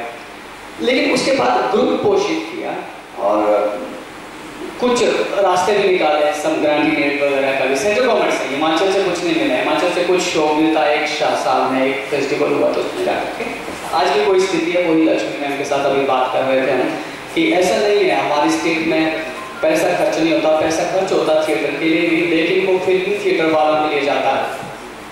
मतलब वहाँ आते हैं मतलब जो फ़िल्मों में अनुभव खेल करते हैं एक्टिंग आ करके, पिछले साल उन्होंने की थी, इसी तरह से, जैसे रजत कपूर हैं, वो लोग जा करके तो वो मतलब पंद्रह रुपए से खर्चा करवा देते हैं। मतलब सारा पूरा फेस्टिवल एक करोड़ का बैठ जाता है, वो नेशनल फेस्टिवल है। उसके अलावा एक स्टेट लेवल का फेस्टिवल होता है, जिसमें हिमाचल की टीम्स होती हैं। तो उसमें कुछ लाख रुपए खर्च होता है, वो बाउंड का होता है, बहुत बड़ा होता है।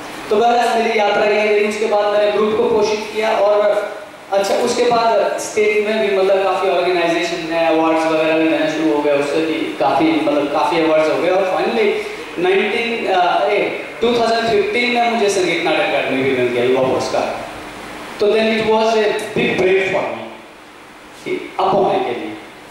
तो तब तक मतलब एक, ये काम का सेटअप बना। सबसे बड़ी बात ये है कि मैं अपना बोलूँ पहले पहले जब मैं 90s में थिएटर करता था, तब मुझे लगता था कि मुझे भी फ़िल्म में होना है सब ऐसा लगता था मुझे।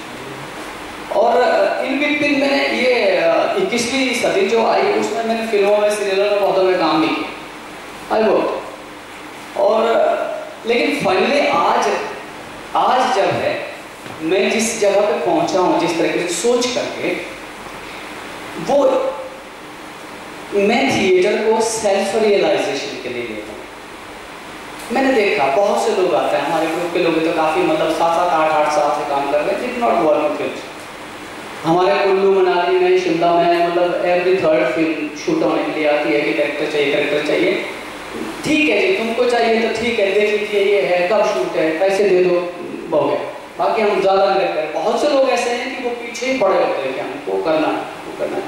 मतलब I am very much thankful to these person आठ आठ नौ नौ साल से जुड़े हुए हैं और um, इनको इस तरह का मोह नहीं है। और अब तो क्या हो गया है कि हमने जिनको मोह होता है तो उनको हम अलग से ट्रेनिंग देते हैं, उनसे हम पैसे लेते हैं।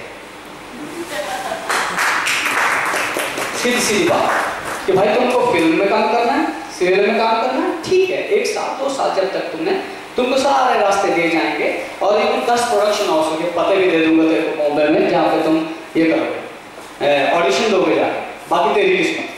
और तेरी मेहनत तो कितना बड़ा कलाकार है। इस तरह से काफ़ी लोग हैं आज की जब मुंबई में बहुत हमारे ग्रुप से पास तो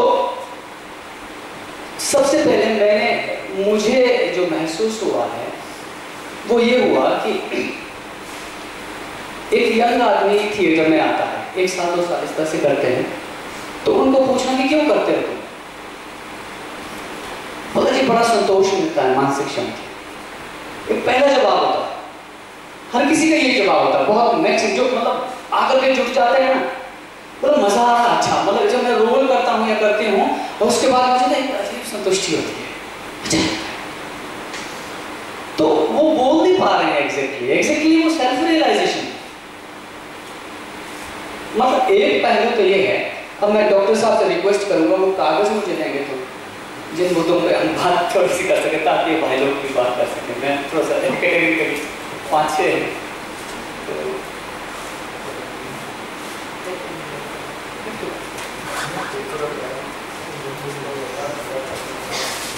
थैंक यू तो मैंने पाया कि थिएटर जो करते हैं हम लोग, सबसे पहली बात तो सेल्फ रियलाइजेशन के लिए। भाई, सांस लेने के लिए कोई पैसे की ज़रूरत नहीं होती है।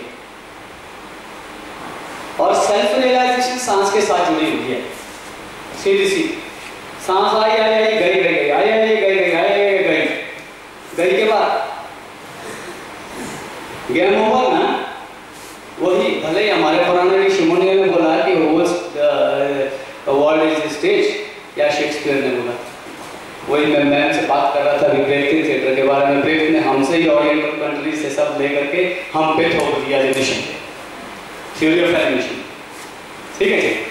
तो बहरा जैसे लक्ष्मी मैम ने बोला, पढ़ना चाहिए। पढ़ना, खाली थिएटर ही पढ़ना ज़रूरी नहीं थिएटर में लाइफ का हर पहलू समाहित है। सब कुछ है। ज़िंदगी जीने का ढंग। और मुझे नहीं लगता है कि ज़िंदगी जीने के ढंग के लिए हमको पैसे की ज़रूरत है।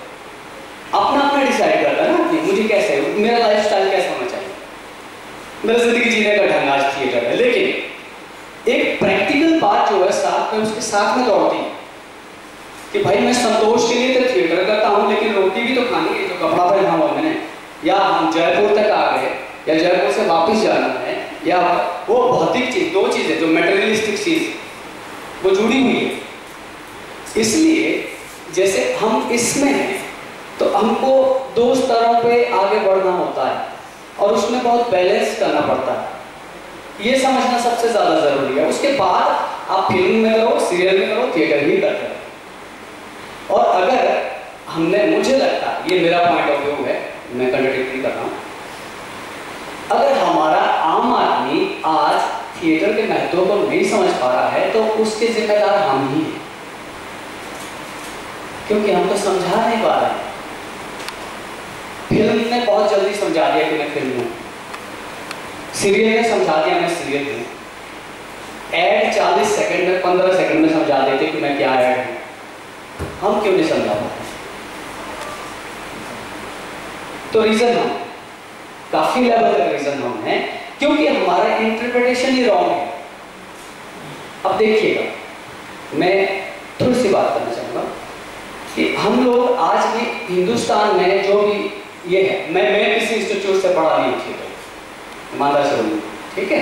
मैं मैं बहुत एन के साथ एसोसिएटेड रहा और भी मतलब और भी जैसे यूनिवर्सिटीज़ के जो लोग जो भी पढ़े उसके साथ में मेरी मतलब उस तरीके से ही पढ़ाई थी आज भी हमारा शुरू किधर से होता है? मैजिक से।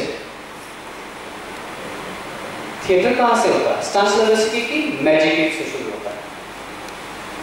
स्टांसलवस्की कहाँ थे?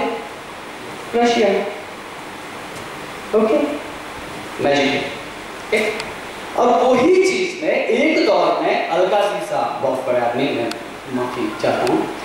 उन्होंने रियलिस्टिक थिएटर दे दिया और एनएसडी में आज भी वही घूम रहा realistic they want to do the rape also realistically on the stage. जबकि हमारी नाट्य धारा जो हिंदुस्तान की होती है वो यह कहती है कि ये सब करने की ज़रूरत नहीं है जो यहाँ बैठे हुए हैं उनको पता लगना चाहिए कि ये हो गया। ब्यूटी देना उसमें बहुत ज़रूरी। है सो so, उसी तरह से आप देखिए आगे बढ़िए। के बाद एक बड़ा नाम आर्टो का आता है। फ्रांस के थे। Theatre and its double theatre right है उन्होंने भी जाबाज मात्रा की जो भी वो मैजिक वाली ये थी, जातियाँ, प्रजातियाँ, उनके साथ में काम किया। फाइनली लास्ट में उनके पास की स्टिक होती थी तो स्टिक उनकी खो गई, कहते हैं। बाद में तब उनको विश्वास नहीं रहा फिनिश इन चीज़ों पर ठीक है? फिनिश ये क्या कम हिंदुस्तान में जो चीज़ें उन्होंने की। ठीक है? उसके बाद आइए अगला नाम ग्रोटोवस्की का। नहीं ग्रोटोवस्की के बीच में ब्रेक्ट साहब बर्टोल ब्रेक्ट थियोफैलिनेशन और उनका कहना कि wrongly interpreted it is dialectical theatre और बोला every refined style of folk theatre is Brecht style of theatre right तो उन्होंने उन्होंने दर्शन दे दिया दृष्टा का। अभिनेता दृष्टा हो जाए। खेले उसको। अब ये दृष्टा की थोड़ी तो श्री कृष्ण ने दी हमारी। श्री कृष्ण जी ने ना क्या बता अर्जुन को कि भाई, हम तो निमित्त मात्र है, करो। उसके बाद ही वहाँ से, ये ठीक है। और उसके बाद बात आती है जो मतलब ज़्यादा ऐसे नए नाम हमारे उसमें होते हैं ना एनवायरमेंटल थिएटर ये ज़्यादा लोगों को नहीं जाऊँगा। और बड़ा नाम आता है तो ग्रोडोवस्की का जर्जी ग्रोडोवस्की राइट और उन्होंने ऋषिकेश के राजयोग आश्रम में बैठ करके बहुत समय बिताया है। आपको अगर पता होगा कि नहीं पता, जहाँ पे बीटल ग्रुप भी जाते थे। बीटल्स और बीटल्स के एल्बम में आप देखोगे तो उनका ये होता है महाअवतार बाबा का फ़ोटो महाअवतार पर उसके बारे में बात करूँगा थिएटर के बारे में। तो एग्जैक्टली आप देखिएगा टुवर्ड्स द पुअर थिएटर उनके एसेस में, उसमें बहुत जगह इन्होंने बोला है ग्रोडोवस्की साहब ने, कि हम लोगों ने तो बोल दिया कि उन्होंने आर्तो और ग्रोडोवस्की ने अभिनेता को उस जगह पे पहुँचा दिया जहाँ पे उसको तिलिस्मी अनुभव होने शुरू हो जाते हैं। क्या अनुभव हुए वो नहीं बात कर सकते हैं? क्योंकि हमको तो हुआ नहीं। जिसने बोला तो अब वो बोलते हैं ग्रोडोवस्की आप पढ़िएगा? ज़रूर पढ़िएगा। Towards the poor theatre. ठीक है? और इनका थिएटर एंड इट्स डबल, इनका है। आर्तो और ये, और इन्होंने बादल सरकार साहब ने काम किया है कुछ अर्से उनके साथ। बादल सरकार साहब का नाम तो सब जानते हैं। उन्होंने उसी पुअर थिएटर को थर्ड थिएटर का नाम दे करके किया। थर्ड थिएटर तो समझते हैं बादल सरकार साहब ने टर्म टर्म थर्ड थिएटर ठीक है? तो सो मैं ग्रोडोवस्की साहब की बात कर रहा था। वो फाइनली बोलते हैं, पढ़ लीजिएगा, बहुत जगह पे, कि यहाँ पे यहाँ पे ये है after here Indian breathing exercises can help you पढ़ लीजिए। राइट ऐसे देखिए किताबों में बार बार पढ़े, दस बार, पंद्रह बार पढ़िएगा आ जाए। ठीक है? सो अब क्या हो रहा है कि हम लोग क्या हैं कि हमारे जो हिंदुस्तान की पद्धति जो चल रही है साउथ इंडियन को छोड़ते हैं थोड़ा सा ये के एल पानी का साथ उन्होंने अपना जनरेट किया उधर अरे रतन श्याम साहब। उनका अपना मेथड अपनी मेथडोलॉजी जगन महिला जी एक्सपायर हो गए, उनकी अपनी मेथडोलॉजी मतलब लैंग्वेज बहुत लोग हैं ऐसे। लेकिन ज़्यादातर दौर, ज़्यादातर क्या हो रहा है? ज़्यादातर हम इनको मैजिक मैजिक में ही वो हुए हैं। ठीक है ना अब देखिए, मैं थोड़ा सा बात करना चाह रहा हूँ आपके साथ कि हमारी भारतीय थिएटर की नाट्य शास्त्र के हिसाब से क्या है अभिनेता की तैयारी का एक्टर प्रिपेयर जो उन्होंने दिया ना ठीक है। अभिनेता की तैयारी का क्या है? हमारे पास मेथड्स दिए हैं अभी तक, जो चैप्टर्स हैं। उसमें अलग से अभिनेता की तैयारी का दिया हुआ है। अभिनेता की तैयारी यही बोली कि जब देवतागण ब्रह्मा जी के पास गए, ब्रह्मा जी ने घोट करके निकाल दिया, सारा एक पंचम वेद नाट्य शास्त्र दे दिया, उसके बाद डिसाइड किया गया कि करेगा कौन? बोला जी देवता बोले तो बढ़िया बढ़िया करेंगे फिर आप तो करेंगे बोला राक्षस करेंगे बोले गड़बड़ी करेंगे दान करेंगे तो फिर कौन करेगा तीसरा आदमी आ गया मानव और मानव में भी वो आदमी करेगा जो हर परिस्थिति को जज कर सकता है और वो था ऋषि ऋषि दैट मीन्स अभिनेता का सबसे पहले हमारी हिंदुस्तानी पद्धति में ऋषि होना ज़रूरी है क्या वो अष्टांग योग की ये इसको पद्धति को फॉलो करता है? यम नियम, आसन प्राणायाम, प्रत्याहार धारणा, ध्यान और समाधि। हम फॉलो नहीं करते और एनएसडी के बड़े बड़े एक्टर में नाम नहीं लेना चाहता हूँ सेमिनार में ये बोलते हैं। जिनके फ़िल्मों में बड़े नाम है, बोला, सबसे अच्छी मुझे क्या लगती है?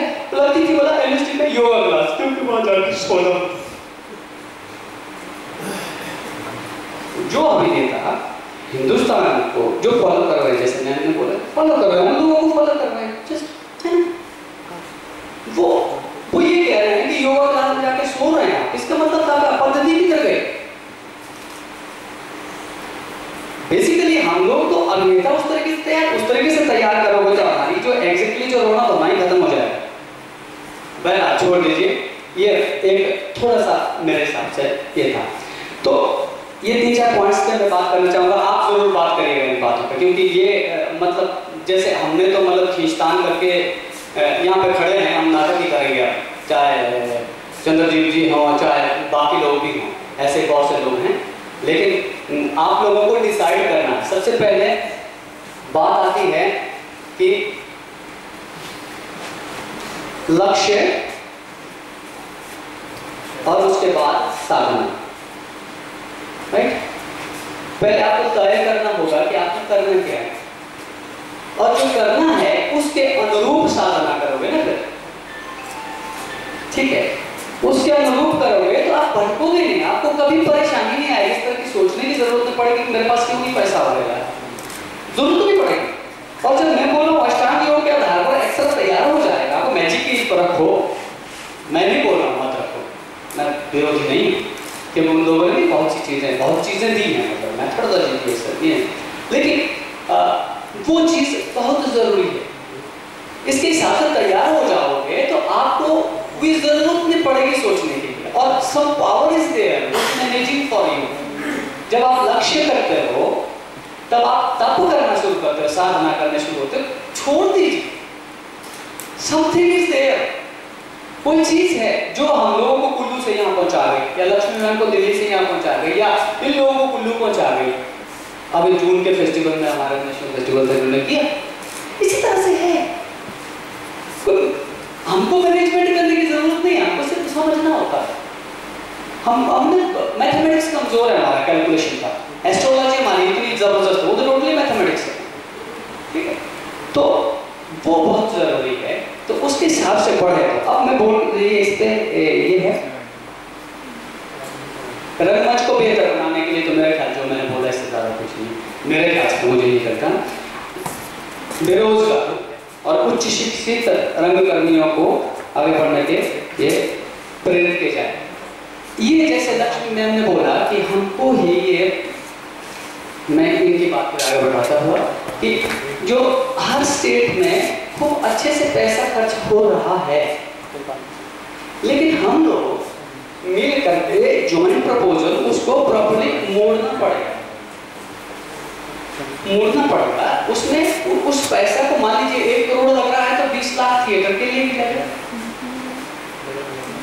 और उसमें हमको आपसे लड़ाई झगड़ा छोड़ करके, इसको कितना हुआ कि नहीं हुआ, वो छोड़ करके हमको पहले तो उसको चैनलाइज करना पड़ेगा ना। स्थिति तो देखो, व्यवस्था से हटके अलग से स्थिति नहीं बना सकते हैं।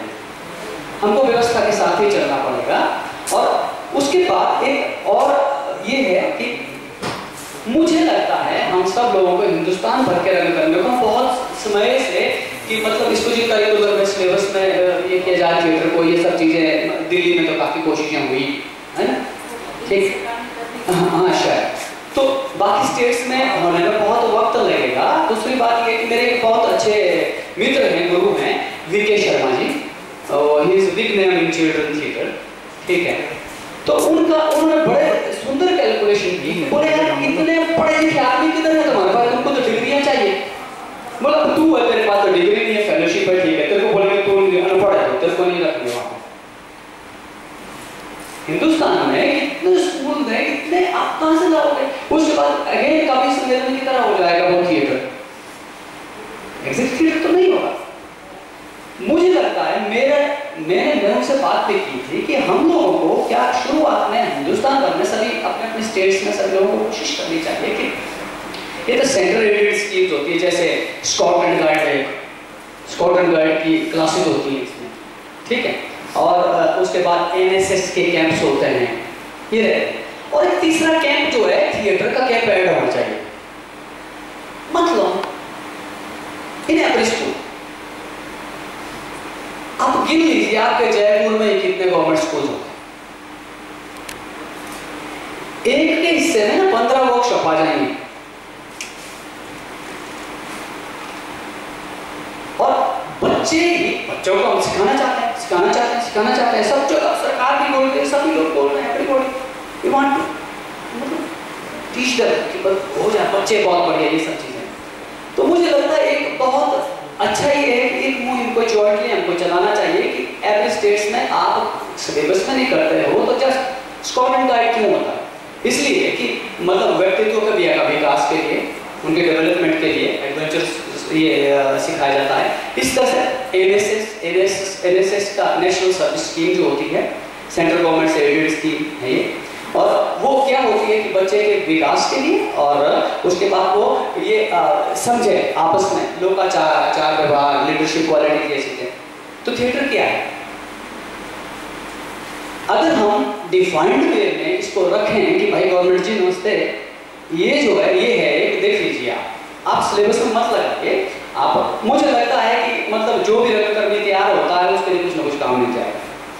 पहला दूसरा अगर हम चैनलाइज करते हैं तो मतलब मेरा मेरा सोचना है ज़रूरी नहीं आप सब लोग इतफाक करते हैं आप अपने बोलते हैं ठीक है? क्या राज्य सरकार को केंद्र सरकार को प्राप्त होने वाला अनुदान निरंतर के नियमित प्रदान करने के विकल्प है? तो ये इसका विकल्प इन्हीं चीज़ों में आ जाएगा और जब इतने रंग करने तैयार हो जाएँगे तो आपका हॉल कितने कैपेसिटी का सर? चार सौ। छह सौ चालीस का साढ़े छह सौ का ठीक है? बीस रुपए का टिकट भी देगा तो मतलब एक नाटक के हाउसफुल एक हफ़्ता तक जाएँगे शोज़ मुझे लगता है कि काफ़ी ज़्यादा मतलब जो जर्मनी यूरोपियन कंट्रीज़ में जिस तरह से थिएटर चल रहा है, उसी तरह से होगा। क्योंकि उन कंट्रीज़ में अगले साल के नाटक की बुकिंग आज ही होती है कि भाई टिकट्स तो मुझे, हमको जनरेट करनी पड़ेगी। हमको, जैसे मैम बोल रही हैं, ये उत्तराखंड की बात की आपने हमारी स्थिति आज से पंद्रह साल पहले वैसी थी। सेम हम स्ट्रगल करके यहाँ पहुँचे, हमारे रिपीट नहीं आ रही हम अच्छे से काम कर रहे हैं और बढ़िया से काम कर रहे हैं। सिर्फ़ आप विश्वास करोगे, हमारे पास ये पार लाइट्स ये नहीं होती थी। हमारे पास जो हेलोजन लाइट्स होती है ना, वो होती थी, और उसके बाद उनको मतलब हमारे पास फिल्टर्स के लिए फ़िल्टर भी होते थे जो एक मतलब पेपर मिलते हैं, वो करके, उस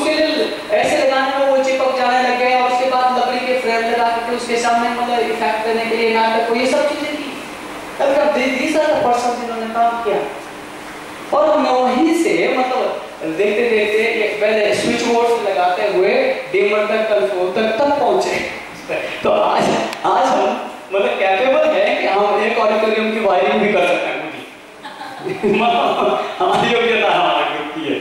तो आज भी हिमाचल में ऑडिटोरियम्स नहीं है अभी जैसे आपने ओपन एयर ऑडिटोरियम हमारे पास टोलू में। अभी एक छः सौ की कैपेसिटी का इंडोर बन रहा है अभी मतलब तैयार नहीं हुआ अभी। शायद साल छः महीने तब ठीक हो जाए। बिल्डिंग तो खड़ी होगी इंटीरियर रह गया। तो शिमला में ही ऑडिटोरियम हमारे पास हिमाचल में नहीं है।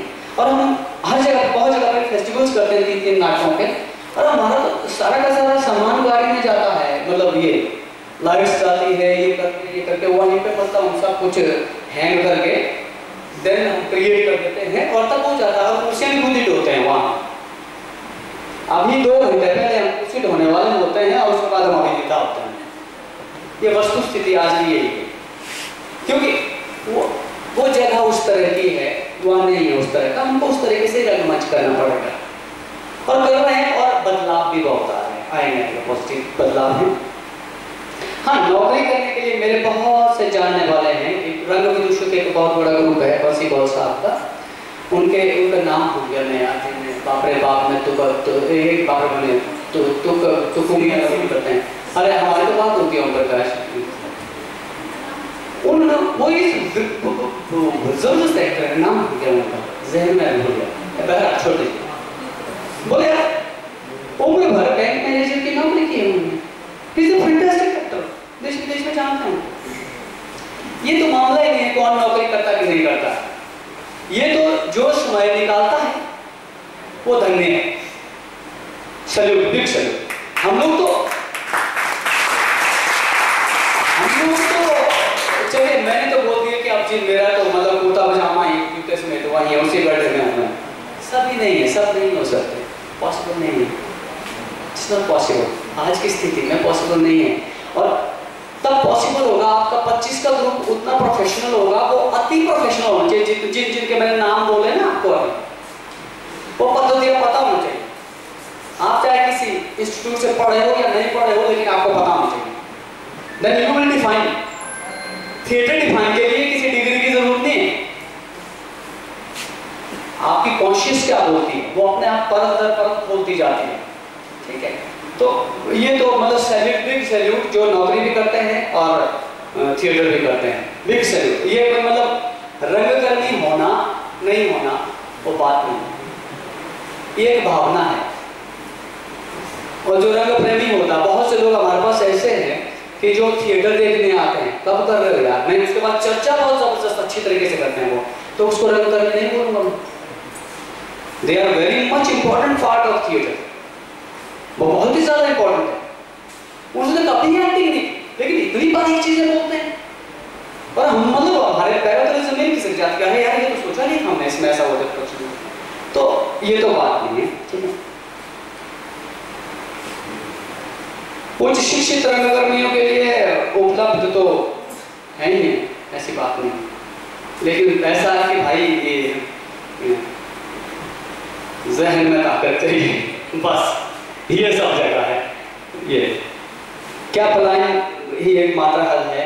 ये तो आ, मुझे लगता है कि आ, आप जो लक्ष्य धारण करोगे उस पर डिपेंड करता है कि आप पलायन करोगे कि साधना करोगे दो ही बात।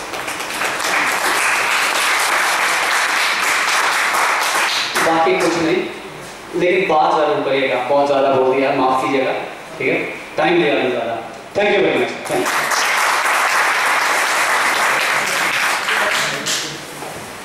thank you Kehar Singh ji और अब हम बुलाना चाहेंगे ज़फ़र खान जी या दिनेश भैया, दोनों में से। दिनेश प्रधान जी, तालियों से स्वागत है आपका। नमस्कार। अपना अपना छोटा सा परिचय देता हूँ। बाकी जो जितने साल मैंने थिएटर किया है और जिस दौर से गुजरा हूँ या जितना थिएटर किया, वो आपके कोई काम आने वाला नहीं है। आपको अपना रास्ता तय करना क्योंकि ये एक परफॉर्मिंग फ़ील्ड है।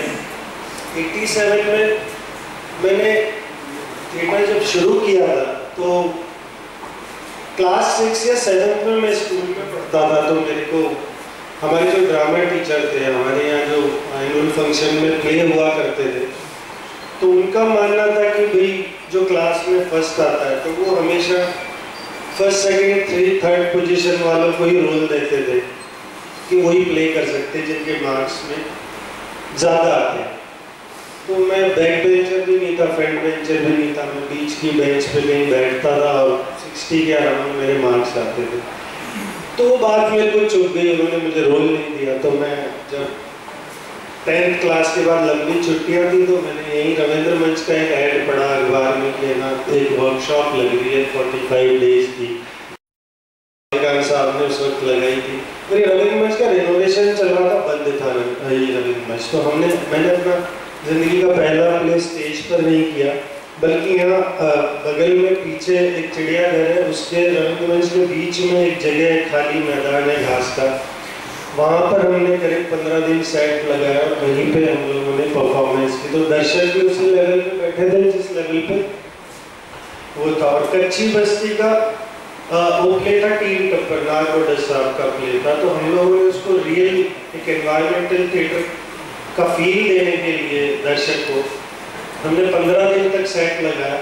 और जितना कचरा हमें मिलता था अपने घर से या रास्ते में, हम लाकर उस सेट पे डाल दिया करते थे। और एक झोपड़ी नुमा जो तिरपाल होता है, उसकी झोपड़ियाँ बनाई और जगह जगह एक नल कहीं मिला टूटा फूटा उसको बीच में लाके लगा दिया। तो आगे का एरिया परफॉर्मिंग एरिया लगा दिया।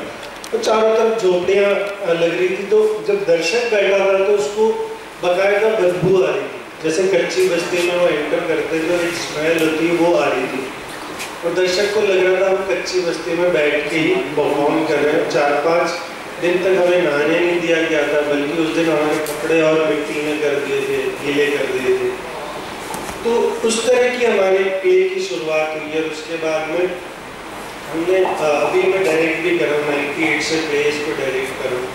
अपने बारे में इतना ही बोलना चाहूँगा, लेकिन एक दो चीज़ें हुई हैं, जैसे कि अभी वहाँ जो पत्रकार ने लिखा है, बहुत बड़ा पेपर है। अनफॉर्चुनेट है यहाँ का बहुत प्रतिष्ठित अखबार है।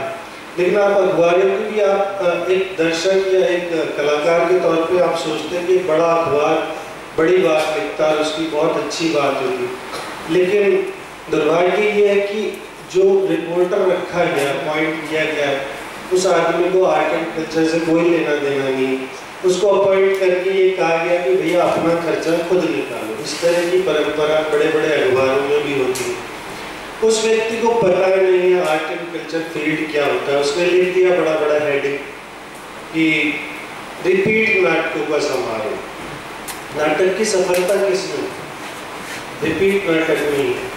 मेरा बाप रे बाप प्ले मैंने ये तेईसवा शो था पिछले नवंबर में शुरू किया था। उससे पहले मैं दस शो बहुत साल पहले कर चुका था। बीच में और प्ले किए। करीब दस महीने में मैंने तेरह शोज़ किए हैं और किस तरीके का स्ट्रगल मुझे करना पड़ा जयपुर जैसे शहर में, कि आप अपने प्ले के बार बार शो करना चाहते हैं। शो बार बार होना सफल था। इस शहर में पाँच लाख की पॉपुलेशन है। तो मैं ये मान के चलता हूँ कि मैं मैं तो अपने शो को वहाँ जाके बंद करूँगा जब मेरे पाँच लाख लोग देख चुके होंगे। एक फ़िल्म के पाँच हज़ार पूरे वर्ल्ड वाइड रिलीज़ होते हैं। तो एक साथ एक हफ़्ते में, एक महीने में लोग उस फ़िल्म को देख पाते हैं, देख लेते हैं। लेकिन नाटक की सफलता किसमें नाटक की सफलता तो इसी में है कि नाटक बार बार प्रदर्शित किया जाए। चार या पाँच शो के बाद तो एक्टर कंफर्ट महसूस करता है। मेरी सारी दस महीने की प्रक्रिया में मैं इसी नाटक पे बात करूँगा क्योंकि आप लोगों ने ये नाटक देखा। पाँच शो तक तो मेरे एक्टर लाइंस के साथ स्ट्रगल कर रहे थे। पहला शो मैंने 45 दिन के रिहर्सल के बाद किया था। नाटक इतना टफ मीडियम है एक्टर पहले शो में तो वो कुछ दे ही नहीं पाता, जो वो देना चाहता है या डायरेक्टर जो चाहता है, वो उससे नहीं वहाँ नहीं आ पाता। क्योंकि प्रक्रिया है प्रोसेस है। पाँचवें प्ले पाँचवें शो के बाद जाके मुझे लगा कि ये नहीं, अब एक्टर्स इंजॉय करने लगे अपनी परफॉर्मेंस जब तक यहाँ लाइन्स स्ट्रगल कर रही हैं, और आप जब परफॉर्म कर रहे हैं, सोच रहे हैं, सामने वाले का क्या क्यों है? क्या उसका मुझे उसके बाद क्या बोलना? अगर ये चार पाँच शो में चलता तो आप यकीन मानिए, आप जो परफॉर्म कर रहे हैं, नहीं कर रहे होते, जो करना। आज तेरह शो में, मुझे पिछले पाँच छह शो से लग रहा है कि मेरे एक्टर्स कहीं स्ट्रगल नहीं है, खेल रहे हैं उससे। और वो उसको रियल बना रहे हैं रियलिस्टिक बना रहे हैं, जो चीज़ मुझे चाहिए थी, वो दे पा रहे तो ये प्रक्रिया है। हर शो के पैंतालीस दिन की रिहर्सल के बाद भी आपकी शो दर शो बेहतर होने की प्रक्रिया। हमारी इतनी मेहनत को एक व्यक्ति बड़े पेपर में लिख देता है कि रिपीट नाटकों का समारोह, पूरा अखबार, पूरा शहर पढ़ता है। तो उस व्यक्ति, जो अनक्वालिफाइड आदमी है, वो लिख देता है एक बड़े पेपर में और उस बात को सच लोगों को अगर पता है कि नाटक की सफलता उसके रिपीट शोज़ में तो उस आदमी पे हंसेगा, उस पेपर पे हंसेगा। सफल शोज़ मतलब महाराष्ट्र में आप जाइए दो दो हज़ार शोज़ होते हैं वहाँ पर, तमाशा के। वो एक एक गाँव एक एक ढाणी मतलब कवर नहीं कर लेते, तब तक वो ट्रेवल करते रहते हैं वो लेकर। एक ट्रक में पूरा सामान। नीचे की, जो ट्रक में नीचे की तरफ़ उनका सामान रखा होता है उसमें नीचे बीच में पार्टीशन कर दिया जाता है। ऊपर सब लोगों की सोने की व्यवस्था होती है। वो ट्रक घूमता रहता है। और चार, तीन, चार हज़ार शोज़ नहीं कर लेते तब तक सांस नहीं ले तो नाटक के लिए तो हमें बार बार जाना पड़े। बल्कि अब तो ये स्ट्रगल हो गया है कि क्या इतना बड़ा शहर है, वैशाली नगर से यहाँ दर्शक आएगा। तो हमें बार बार वेन्यूज चेंज करने पड़े 1963 में यहाँ पर ये रविंद्र मंच बना था सरकार की तरफ़ से। उसके बाद सरकार के मास्टर प्लान में कोई नया ऑडिटोरियम नहीं है। दो तीन प्राइवेट ऑडिटोरियम आए जिनकी आज जो किराया है वो चालीस हज़ार पचास हज़ार आज रविंद्र मंच जैसे ऑडिटोरियम दस चाहिए इस शहर में। तो हम क्या खोज रहे हैं? हम इंटरनेट खोज रहे हैं कि हम जा रहे हैं। मैंने बाप रे बाप लेके पाँच शो आर्ट गैलरी में यहाँ पर जवाहरलाल नेहरू मार्ग पर ओटीएस के सामने आर्ट गैलरी है कला गैलरी उसमें हमने सामने परफॉर्मिंग एरिया बनाया इधर सिटिंग एरिया बनाया, एक ही लेवल पे। चेयर रख के आगे गद्दे बिछा के फिर तख्ते रख के पीछे चेयर रख के सिटिंग अरेंजमेंट किया। हम दर्शक, अब दौर वो आगे हमें दर्शक के पास भी जाना। तो आप जब थिएटर में आए तो तय करके आइए, आपकी अपनी जर्नी होगी। अपना स्ट्रगल होगा। कोई फॉर्मूला नहीं है। इस तरीके से जाएँगे तो यहाँ पहुँचेंगे। आप तय करिए, आपको कहाँ पहुँचना है, किस तरीके से पहुँचना है। और जो आपकी यात्रा ही, आपको सिखाई। सबने अलग अलग तय कर रखा है। हाँ आप अभिनेता है, किसी भी मीडियम में काम करिए। लेकिन हाँ थिएटर में काम कर रहे हैं तो थिएटर वक्त माँगता है। और थिएटर को पूरा सीखिए। बाकी मीडियम में आपको मदद करेगा, लेकिन यहाँ से कच्चे पक्के चले गए ना तो वहाँ से भी लौट के आए। इसलिए यहाँ टाइम दे रहे तो ईमानदारी से दीजिए एक नाटक किया है, एक साल किया, उससे नहीं चलेगा। आप वापस जाएँगे तो वापस लौट के आएँगे फिर यहाँ के रहेंगे ना वहाँ के रहेंगे? हर मीडियम में काम करिए, लेकिन पूरी तैयारी के साथ। और थिएटर एक मौका देता है। हमारे पास दुनिया में एक ऐसा माध्यम है जहाँ बिना पैसे के, बिना सुविधाओं के भी सीख सकता है। लेकिन आपको देने पड़ेंगे, वक्त देना पड़ेगा, वक्त किसी को एक साल, दो साल, चार साल, पाँच साल, ये आपको तय करना कि हाँ मैं तैयार हो गया। और ये भी तय करना होगा कि मैं, मुझे थिएटर पे पाँच साल बाद आपको बहुतों को समझ आएगा, मुझे थिएटर ही करना चाहिए। अगर आपने ईमानदारी से वक्त दिया है थिएटर बाकी ज़्यादा वक्त नहीं होगा। अगर अगर मेरे प्ले को लेके आप कोई सवाल करना चाहते हैं, क्योंकि इधर सुन सुन के आप सब बोर हो जाएँगे। मैं चाह रहा हूँ कि उधर से भी कुछ सवाल आए, कुछ बातें हैं। अगर छोटे से में मेरे प्ले को लेकर कोई बात करनी है तो आप बात कर लीजिए। बाकी मैं यहाँ रोज रोज आता हूँ। लंबी बात करनी तो मैं आपको अलग से भी मिलता हूँ। तो कोई पूछना चाहे मेरे प्ले को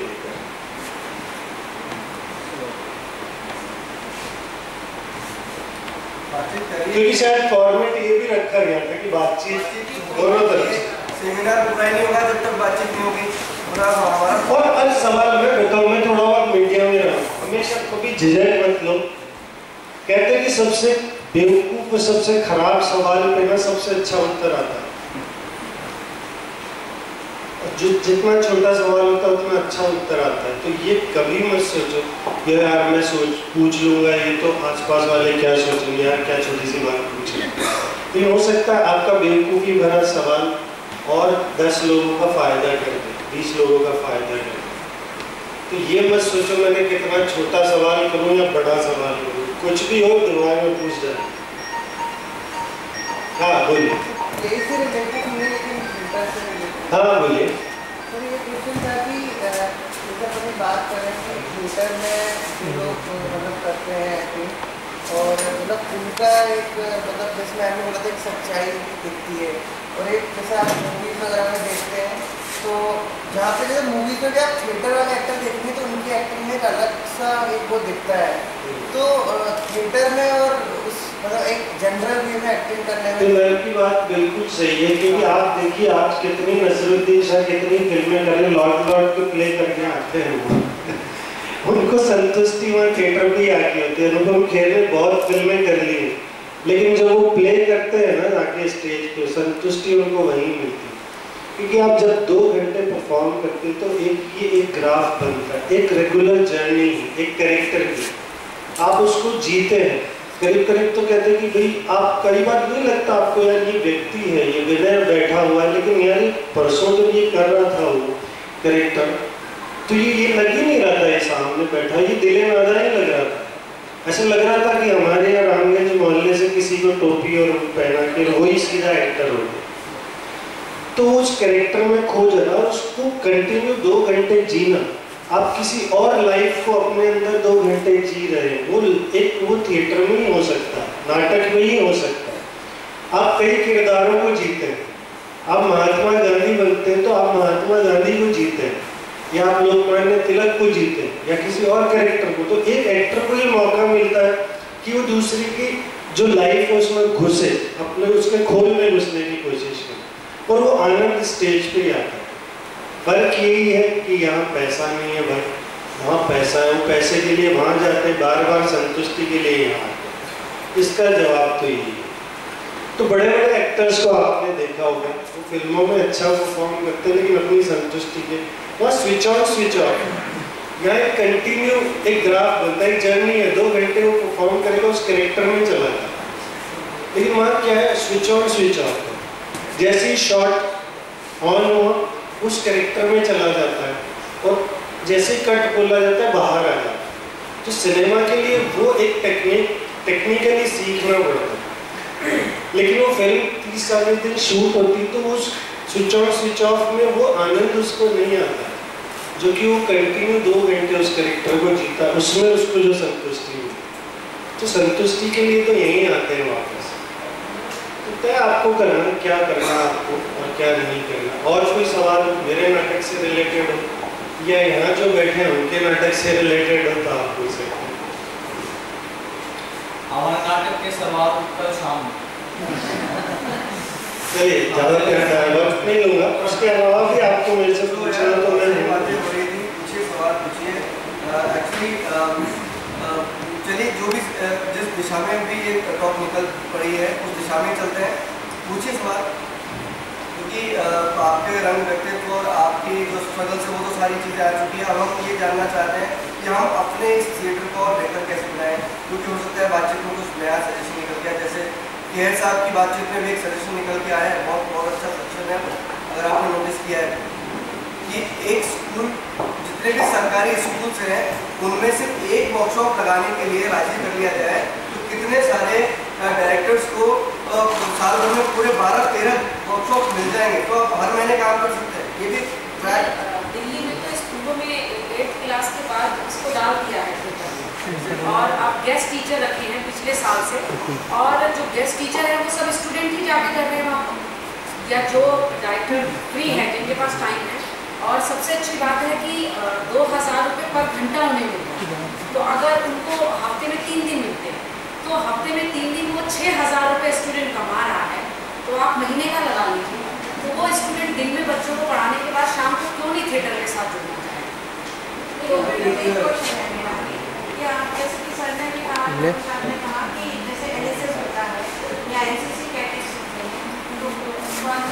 है वैसे ही अगर बीबीसी जो है सबको प्रमोट करना चाहती है स्टेज शो को या अपने जो ड्रामाज हैं उसको स्टेज शो पर परफॉर्म करके स्टूडेंट को बताना चाहती है तो उसको वो प्लेटफॉर्म कॉलेजेस में सप्लाई करना चाहिए ना मतलब विदाउट प्लेटफॉर्म एक ड्रामा को आप कैसे कंपोज करोगे स्टेज पर जैसे आपने कहा दिल्ली गवर्नमेंट ने किया लेकिन सभी यूनिवर्सिटीज में ऐसा नहीं हो नहीं यूनिवर्सिटी की तो मैं बात ही नहीं कर हाँ। मैं ये बोल रही हूँ कि जैसे आप अपने स्टेट गवर्नमेंट के ऊपर तो आपके सारे रंगकर्मी प्रेशर मेंटेन कर सकते हैं ना हाँ। अगर एक स्टेट देखिए आप अगर कहीं पे जॉब करते हैं आप एक ऑटोनॉमस बॉडी में जॉब करते हैं कहीं दूसरी जगह गवर्नमेंट का एक सर्कुलर आता है कि ये सैलरी इतने रुपए बढ़ गई है तो आप सब अपने डिपार्टमेंट के लोग लग जाते हैं ना, उनका ऑर्डर ले लेके कि जब यहाँ हो सकता है तो हमें भी दीजिए ये बेनिफिट हमारा एचआर भी बढ़ाइए, हमारे को भी डीए दीजिए, उधर तो लागू हो गया तो आपके थिएटर रंगकर्मी सारे के सारे मिलकर इस सब्जेक्ट पे तो अपनी स्टेट कि दिल्ली स्टेट गवर्नमेंट ने भी ये गेस्ट टीचर दिए तो आप हमें भी गेस्ट टीचर दीजिए। अगर, क्योंकि ये तो मुद्दा ऐसा है ना कि आपके पूरे जयपुर के रंगकर्मी एक हो सकते अगर मान लीजिए हाडा जी के पास टाइम नहीं है। वो सीनियर को वो मतलब उनकी अपनी जॉब है बिज़ी है। वो अपने सीनियर स्टूडेंट को इस लायक समझते हैं कि वो आप बच्चों को पढ़ा सकते हैं एट्थ क्लास में थिएटर तो वो उन दो बच्चों को रिकमेंड कर सकते हैं दूसरे थिएटर ग्रुप वाले अपने दो बच्चों को। तो आपके स्टूडेंट के लिए आप एज ए डायरेक्टर एक जॉब ढूंढ रहे हैं। और जब वो बच्चा खुद पढ़ाने जाता है तो उसकी अपनी ग्रोथ ज़्यादा बढ़ती है। सर मैं भी मैडम यही कहना चाहती हूँ कि हायर एजुकेशन में एक चीज़ को प्रमोट किया जा रहा है। किया जा रहा है। लेकिन उतने एफिशिएंटली नहीं किया जा रहा है। उसके लिए तो हमें खुद देखिए वो एक बहुत पुरानी कहावत है ना कि मरे बिना स्वर्ग नहीं मिलता। तो हमें खुद तो बनना पड़ेगा। हमें खुद आगे बढ़ना लोगों को भी इसके लिए कोलैबोरेट होकर आगे बढ़ना चाहिए अपनी बात को प्रेजेंट करना चाहिए। Ministry level पर। एक्चुअली जैसे आ, आ, दिल्ली में तो सिलेबस में ले आए ना? और सिर्फ़ दिल्ली में but it should not be in syllabus मेरा ये कहना है। तो सिलेबस के बजाय को करिकुलर हाँ, रहे जैसे- एक वर्कशॉप यस कि नहीं दैट शुड बी कंपल्सरी हाँ, एक वर्कशॉप कल्चर यहाँ जो- लिटरेचर यहाँ जो को स्कूल समाहित में करना किसने किया है एक महीने की हमारे स्कूल के अंदर आप approach करोगे तो हो सकता है माने भी नहीं भी माने क्योंकि उनका कोई ये ध्येय नहीं होगा कि इनको ये करना है आपको पता होगा कि दिल्ली में और इसी तरह कई डिपार्टमेंट्स यहाँ थे कल्चर हुआ उसी कल्चर कोटे से मेरे को भी नौकरी मिला उसके बाद धीरे धीरे उस कल्चर कोटे और वो क्यों हुआ? हमारी हो गया क्योंकि हम हमने अपना स्वार्थ देखा कि हम हो गए, हम आगे प्रति नहीं। हम नहीं कहना चाहते या नहीं कहेंगे या ईर्षा हो सकती है कुछ भी हो सकता है। मतलब उस चीज़ को हम जो है एक तरह से स्वार्थी बने और उसको ठीक किया। आज ज़रूरत वापस उसी कोटे की है। और अब वो कोटा किस तरीके से शुरू किया जाए? इसके लिए पहल हमको करनी पड़ेगी। क्योंकि करना यहाँ पर जयपुर में एक अच्छी बात योजना ये कि यहाँ पर एक एसोसिएशन है राज के नाम से। वो दूसरी तरफ़ तो ध्यान दे रही है। किस तरीके से अनुदान लिया जाए किस तरीके से कुछ किया जाए आगे कैसे ली जाए इसको कैसे हटाया जाए कैसे किसी को लगाया जाए लेकिन वो इस चीज़ को परसों नहीं कर रही कि हमको कल्चर कोटे में एक परसेंट दो परसेंट एक परसेंट दिया जाए। तो ये कमी जो है की जो है। सेंट्रल गवर्नमेंट से स्कॉलरशिप के लिए सब मदद करते हैं। श्रीमती मोनिका जी सामने ताज की तो मैं उनसे अनुरोध करूँगा कि वो इस तरह ध्यान देंगी। और अपने को कहेंगी मेरे ख्याल से जो पुरानी फाइलें दब चुकी जिनमें धूल जम चुकी है वो वापस निकल और आपसे वापस है वो कल्चर बिल्कुल सर आपने बोला है तो हम इस बारे में मैं बात करूँगी और आपकी बात वहाँ तक बिल्कुल पहुँचाऊँगी। और कोशिश करेंगे हम कि इस तरह से जो एक कल्चर कोटा बता रहे हैं वो वापस से शुरू हो ताकि कई बेरोजगार लोगों को में में क्योंकि वहाँ से पिछला चार पाँच नाटक हमेशा जो है हर शहर में आया करते थे। जिसमें बड़े बड़े कलाकार भी हुआ करते थे जोधपुर से इनका साउंड ग्रामीण म्यूज़िक का सांस्कृतिक प्रोग्रामों का था गाँव जाने जाने जाकर के वो भी जो एक तरह से खत्म कर हमारी जो सहकारी विभाग में हुआ करती थी कॉपरेटिव में उसको उन्होंने बिल्कुल खत्म कर दिया। इस तरीके से वापस जो दूर पड़ी मिट्टी है, वो फ़ायदा है, उनको वापस से निकल और उसके लिए जो है नए जो जो चाहते हैं कि हमको इस फ़ील्ड में नौकरियाँ मिले या फ़ील्ड में हमें या कॉलेज में हम ये जो स्कूल में हम जो लगवाएँ उनको आगे आना मैं ज़फ़र खान जी से अनुरोध करूँगी कि वो भी अपनी बात रखें और हमें बताएँ सर स्वागत करते हैं नमस्कार बातें तो मेरे ख्याल से सभी हो गई हैं सारी चीज़ें आपके सामने आ भी गई हैं रंगमंच की जो दुर्दशा हम देखते हैं खासकर हिंदी रंगमंच की बात करें। तो रंगमंच जिन तत्वों से मिलकर बना है, आप सब जानते हैं रंगमंच, नाटककार, अभिनेता, रंगमंच, और चौथा इसका स्तंभ है दर्शक अगर हमें रंगमंच को, अभिनेताओं को सबको आगे बढ़ाना है और ऐसा लगना चाहिए कि लोग अच्छी लाइफ जिए रंगकर्म के साथ।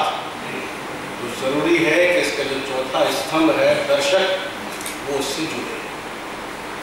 एकमात्र रास्ता यही है, जब तक हमारे नाटकों को देखने के लिए दर्शक नहीं आएगा, टिकट लेगा। यू आ सकते हैं, आप पास भेज दो तो वो ऑर्गेनाइज करते हैं कि हम आपका नाटक देखने आए सर, हमने टाइम निकाला, आपका नाटक देखने। आया हम कहते आपका आभार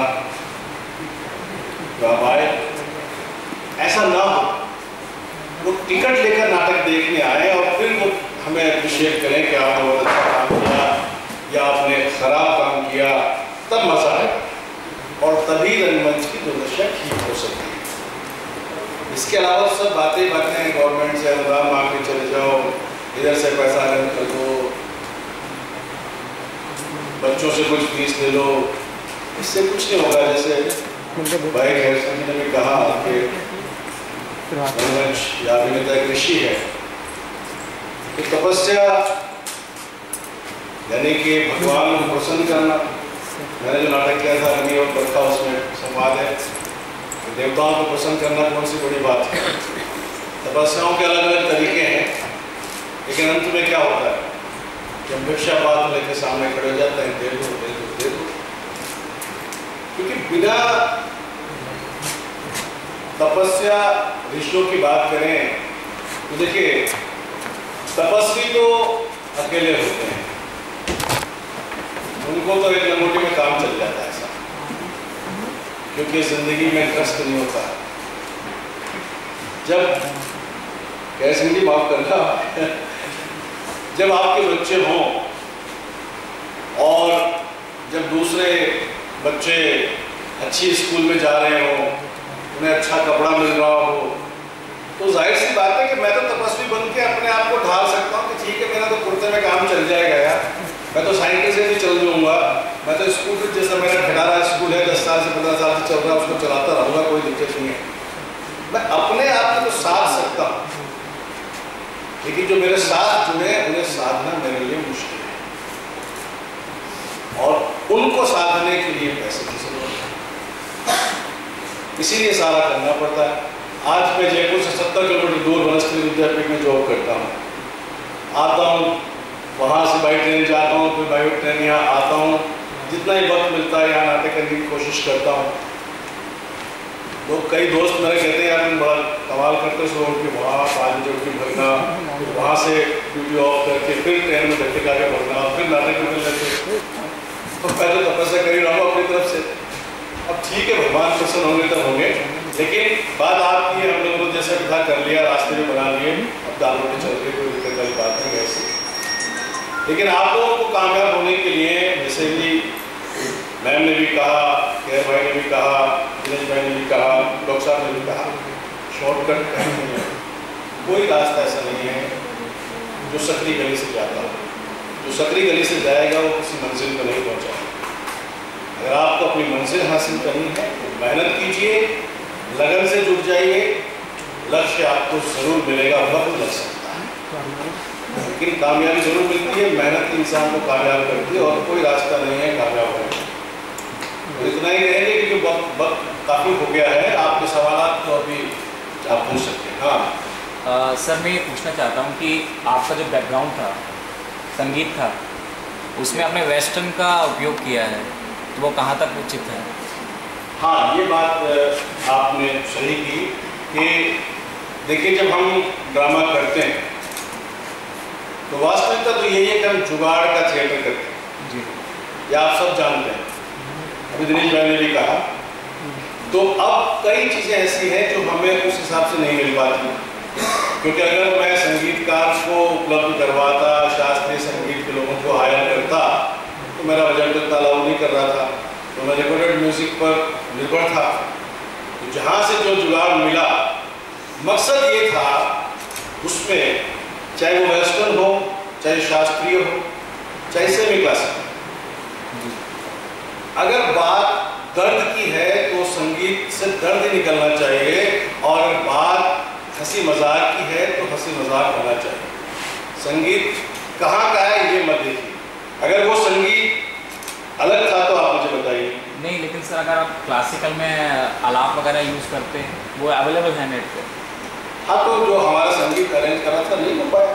हाँ मैं वही कह रहा हूँ। लेकिन जो हमने उससे हमने ज़्यादा जो किया। नहीं नहीं आपका सवाल अच्छा है। हमने जो किया वो खराब तो नहीं लग रहा था ये जानना नहीं अच्छा लग रहा था बहुत अच्छा लगा मुझे भी। लेकिन मेरा प्रश्न यही है कि वेस्टर्न का हाँ, ये आपका सजेशन है अच्छी बात है। हम उसको स्वीकार करते हैं आगे से कोशिश करेंगे। बड़ी अच्छी बात कही है। थैंक यू कोई इसमें वो नहीं है। बहुत अच्छा है। और आप लोग।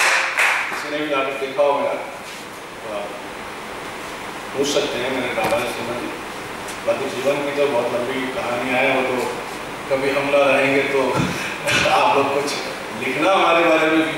चार लाइन में आपका संघर्ष आज से नहीं पिछले कई वर्षों से देखता आ रहा हूँ। तब से देखता आ रहा हूँ जब आप जयपुर में थिएटर कर रहे थे और फिर मुंबई भी आप थोड़ा सा काम गए थे और उसके बाद आप वापस आए और आपने यहाँ पे उस दौर को भी मैंने देखा है। मैंने उसके बाद आप वो वनस्त्री विद्यापीठ वाला दौर भी देखा है। सुबह पाँच बजे निकल के वहाँ जाना पढ़ाना फिर वापस शाम को वापस आना। कुछ सालों तक उसको मैनेज करने में आपको लगा थोड़ा सा टाइम लगा। लेकिन अब आप थिएटर को करने दे रहे हैं। लेकिन मैं ये जानना चाहता हूँ, आप अपनी फैमिली को कैसे बैलेंस करते हैं? क्योंकि वाकई में मेरे लिए भी बहुत बड़ा सवाल है। हमारे घर में बहुत चर्चा होती है इसको। मैं थोड़ा सा भी टाइम एक्स्ट्रा ले लेता हूँ ना तो हमारे घर में थोड़ी सी मतलब वो अनईजी हो जाती है चीज़ें।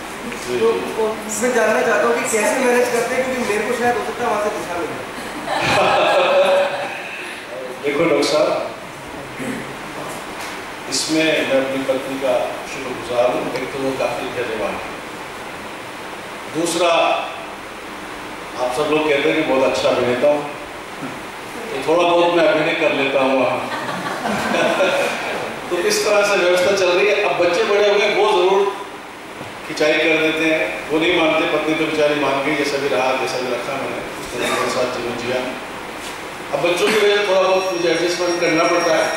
लेकिन चल रही लाइफ कभी कभी महीने में एक आध दिन में उन्हीं को देता हूँ तो इससे क्या है कि वो थोड़ा सा खुश हो जाते हैं कि चलो आज तक पापा हमारे साथ हैं, पूरा दिन में कहीं नहीं जाता है साथ पंद्रह दिन में या महीने में एक बार ऐसा कर देता हूँ। तो उससे काम हो जाता ही एक्टिंग है तो अब वो एक्टिंग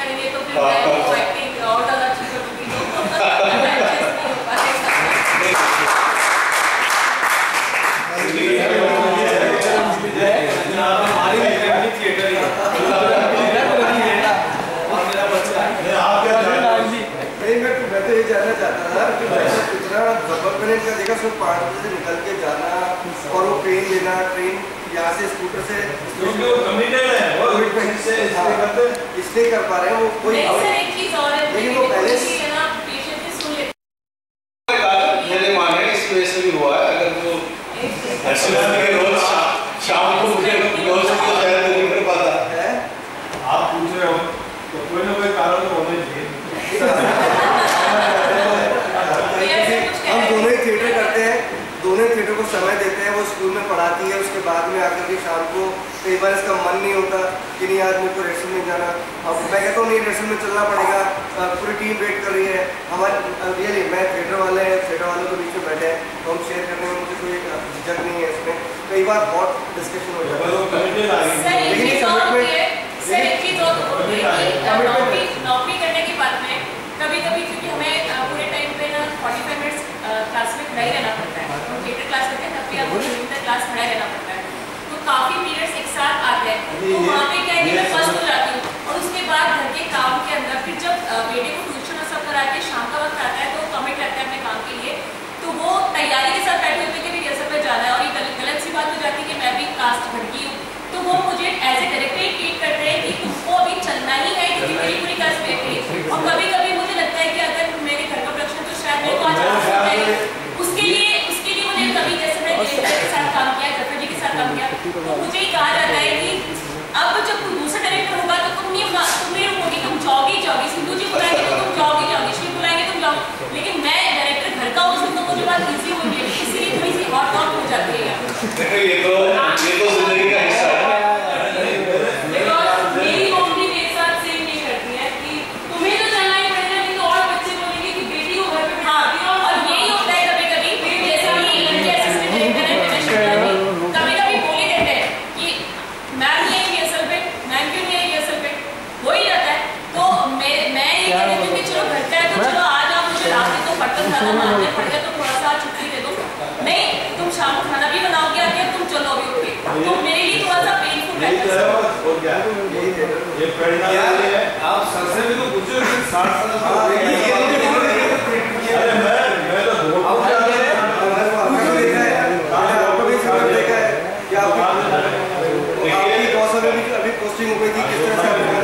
वर्कर के तो भी हैं, किसी ज़्यादा किसी कम तकलीफ़ उठानी पड़ती है क्योंकि माध्यम ही आसान माध्यम नहीं है, इसलिए तकलीफें भी ज़्यादा हैं। और खासकर तो ज़िंदगी के सबसे ज़्यादा ज़रूरी होता है पैसा। अपने देश में पैसा नहीं है दो डायरेक्टर के दो एक्टर एक घर में नहीं होने ये बात ये है तो आप तुम तो बेटे को ही बना रहे हो तीसरा भी कर दिया अरे हमारा तो ये है कि घर के अंदर सभी एक्टर होते हैं आगे एक तो शिकायत ही नहीं चलिए और कोई आप कोई सवाल आगे बढ़ो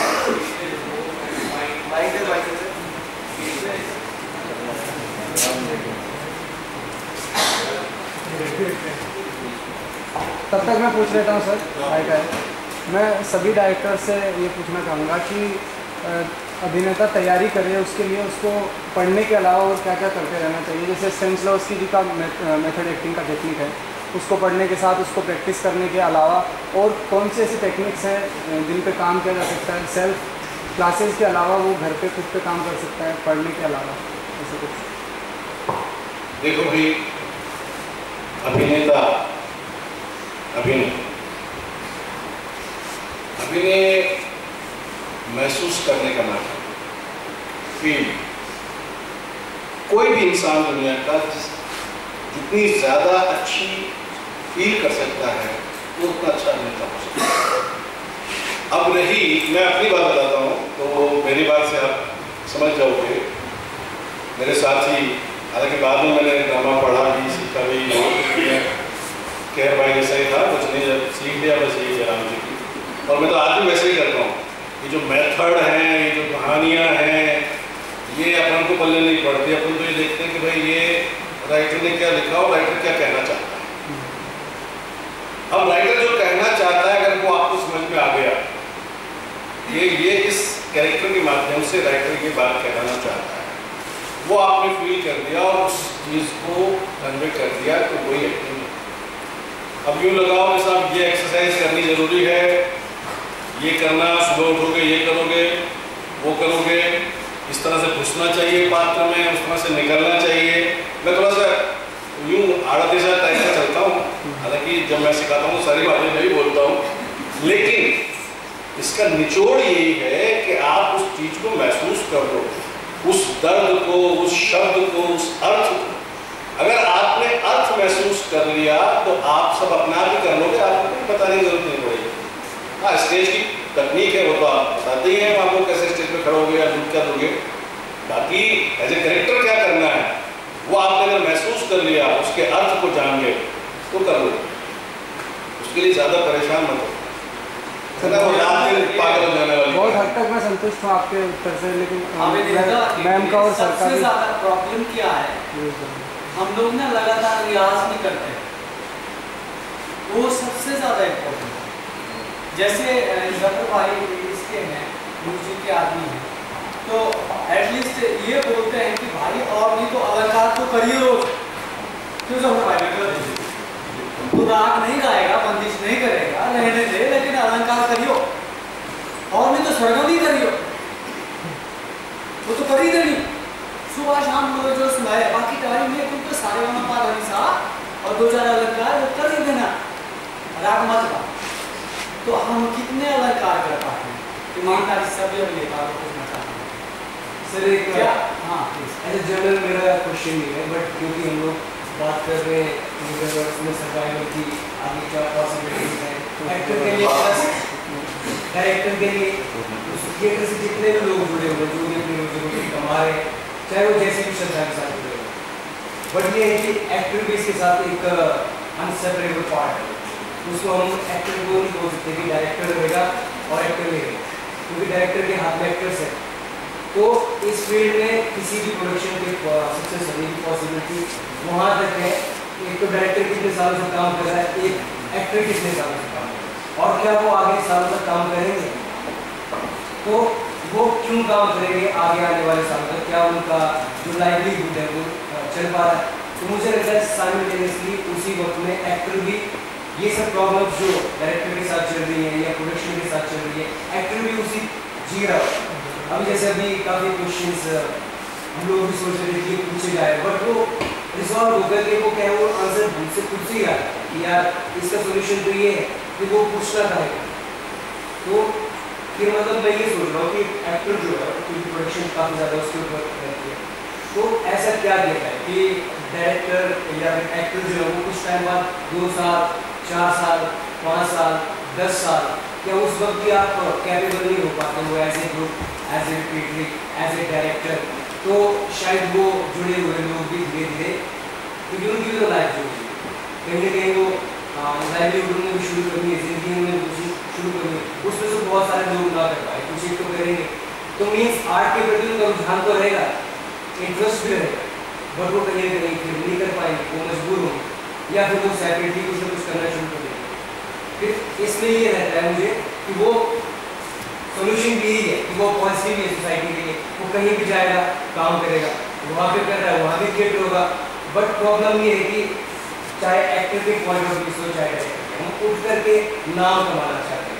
और नाम के साथ वो जुड़ा हुआ है, क्योंकि सोसाइटी में नाम होगा तो आपको फाइनेंस जनरेट होगा, आप कुछ कर पाओगे, अगर वो नाम होगा तो वो ये सब चीज़ें भी नहीं कर पाते बट ये है कि एक्टर के लिए मुझे एज ए ग्रुप सजेशन है कि एज ए ग्रुप या एज ए डायरेक्टर वो बहुत सारी कोशिशें इस तरह से चलनी चाहिए कि एक्टर जो है वो सर्वाइव कर पाए।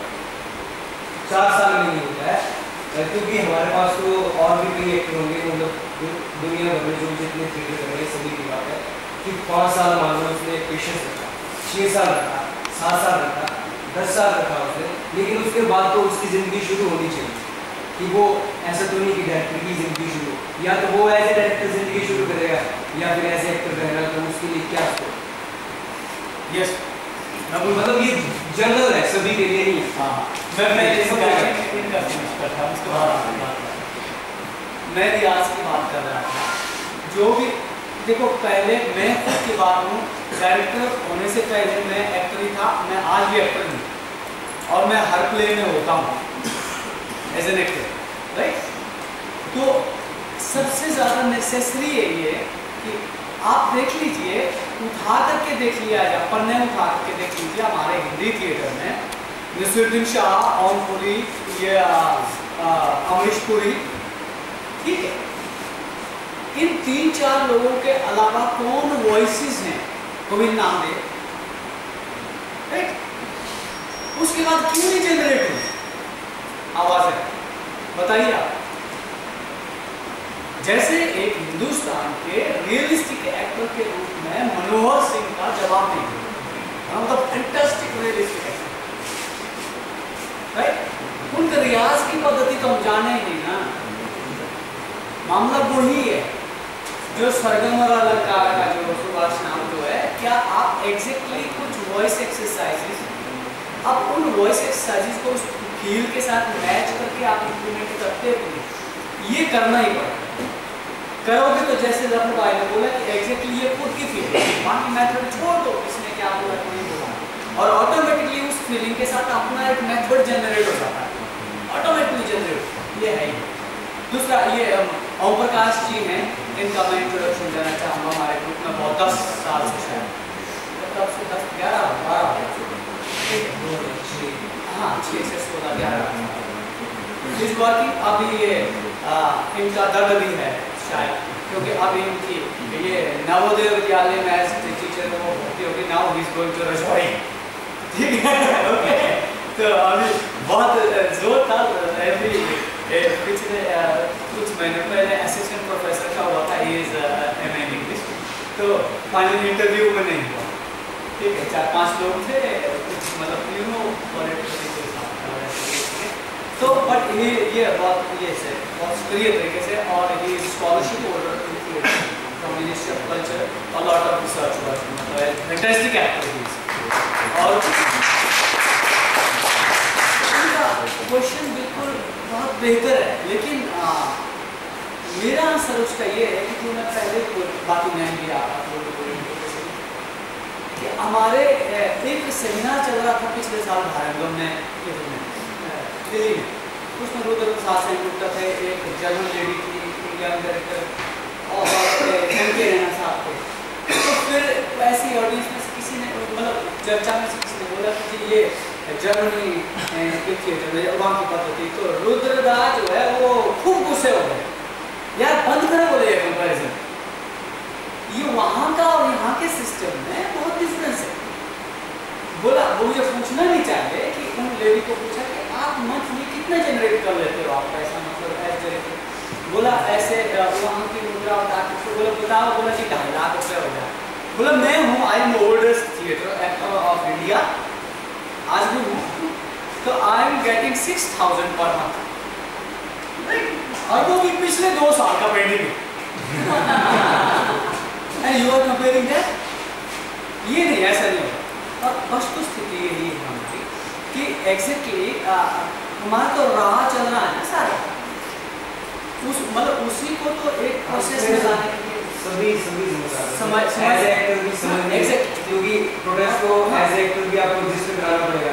आप स्ट्रांग नहीं होंगे तो सोसाइटी में और लोग अपने व्यू पॉइंट्स को ऊपर रखेंगे वो अपने प्रोफेशन को ऊपर रखेंगे तो आपका प्रोफेशन नीचे हो जाएगा।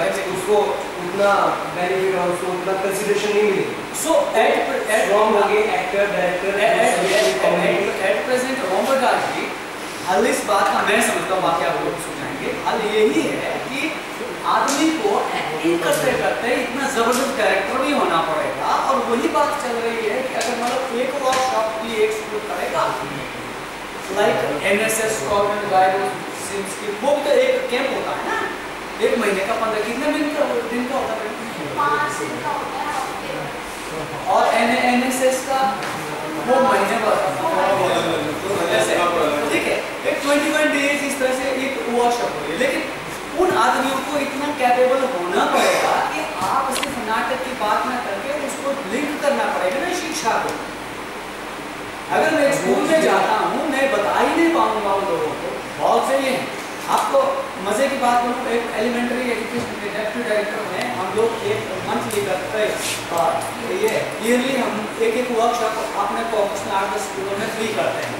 गवर्नमेंट स्कूल प्राइमरी स्कूल के डेप्यूटी डायरेक्टर के पास गए एलिमेंट्री स्कूल नहीं we do not law subject in बोला I am since 18 years in this मैंने बोला नए किस्म के डेप्यूटी डायरेक्टर आ गए, आप क्या वो नहीं करना चाहते हैं तो शायद आप समझें but every teacher is understanding this अगर मैं स्कूल में जाकर के मान लीजिए किसी को समझा नहीं पाता हूँ कि भाई exactly how it is link और कैसे ये अपलिफ्ट करेगा आपकी टोटली एजुकेशन को, ये करके। ठीक है? तो उतना कैपेबल होना पड़ेगा। You must know all theories और उसके बाद क्रिएट योर ओन थ्योरी उन थ्योरी पे मत चलिएगा। जैसे सर किस कभी बोला, मैंने बोला या सर ने बोला कि हम ये करते हैं कि किसने कैसे चला वैसे चलने की कोशिश करें। जानो। हर किसी को जानो, लेकिन उसके बाद create your own theory better most और वो आपकी कंटेम्प्रेरी होगी आज की सिचुएशन में। आज की सिचुएशन में क्या कर सकते हैं इम्प्लीमेंट कर सकते हैं? पहले मनोहर सिंह जी ने कैसे थिएटर किया के सिंह जी नहीं कर सकते हैं। उनकी स्थिति अलग है। तो लेकिन जानना ज़रूरी है कि मनोहर सिंह जी ने कैसे किया। थिएटर मतलब थिएटर से जुड़ा हुआ है कि मतलब थिएटर कर रहा है तो इसी से कमाएगा इसी प्रोफेशन में रहेगा और इसी में वो अपनी जीविका करेगा। थिएटर करे वो कुछ और भी करे थिएटर को थिएटर करे हाँ ये स्थिति आज की डेट में इंडिया में यही स्थिति है। क्या होता है कुछ एक सालों में आप इतना बिल्डअप हो जाते हो कि आप इसको छोड़ नहीं पाते हो। आप हैबिचुअल हो। जाते हो आर्ट के हैबिचुअल हो जाते हो आप स्टेज के हैबिचुअल हो जाते हो। आपको बीइंग्स अच्छे लगते हैं आपको ऑडिटोरियम सॉरी ये सब चीज़ें आपको ड्राइवर तो आप उस चीज़ को hello everybody my name is Gaurav Meena और मैंने रिसेंटली सर के साथ ज्वाइन करा मुझे सात या आठ महीने हो चुके सबसे पहले तो सर मैं मैं आपकी इजाज़त लेके मैं सुना सकता हूँ। स्टेज यूज़ कर सकता हूँ। थैंक यू सर मेरा एक क्वेश्चन है क्या थिएटर को बिज़नेस बनाना गलत है? अगर हम थिएटर को पैसा अर्न करते हैं कुछ अ, मैं सर को देखता हूँ कि जो हमारी मिनिस्ट्री ऑफ़ कल्चर है जब भी हम सर को वर्कशॉप करते हैं वो हमें हंड्रेड परसेंट पैसा नहीं देती है। ठीक है? वो हमें सेवेंटी फाइव परसेंट देती है। और उसके बाद भी वो तब देती है, पहले हमको खुद खर्च करना पड़ेगा। ट्वेंटी फाइव परसेंट खुद को पॉकेट से लगाना पड़ता है। तो ऑब्वियसली एक, जो मैं सबको देखता हूँ, दिन भर स्मॉल न्यूज़ चार चार में कितना कुछ देख रहे हैं। इनको ज़्यादा दिन नहीं हुआ बट स्टिल मैं जितना इनको जानता हूँ, ये मुश्किल से सौ पाते हैं। जब भी अभी जैसे ये फेस्टिवल शुरू हो रहा था आई नो सर किस उससे गए हैं, जिन्होंने लोन्स लिए वो नहीं पता पर्सनल लोन लिए सर। तो वो ट्वेंटी फाइव परसेंट जो है, अगर वो ट्वेंटी फाइव परसेंट सर अपनी पॉकेट से नहीं लगा के किसी भी वे में अ, उसे बिज़नेस बनाना चाहे उसको मैं क्लियर कर देता हूँ बिज़नेस से मेरा मीनिंग क्या है।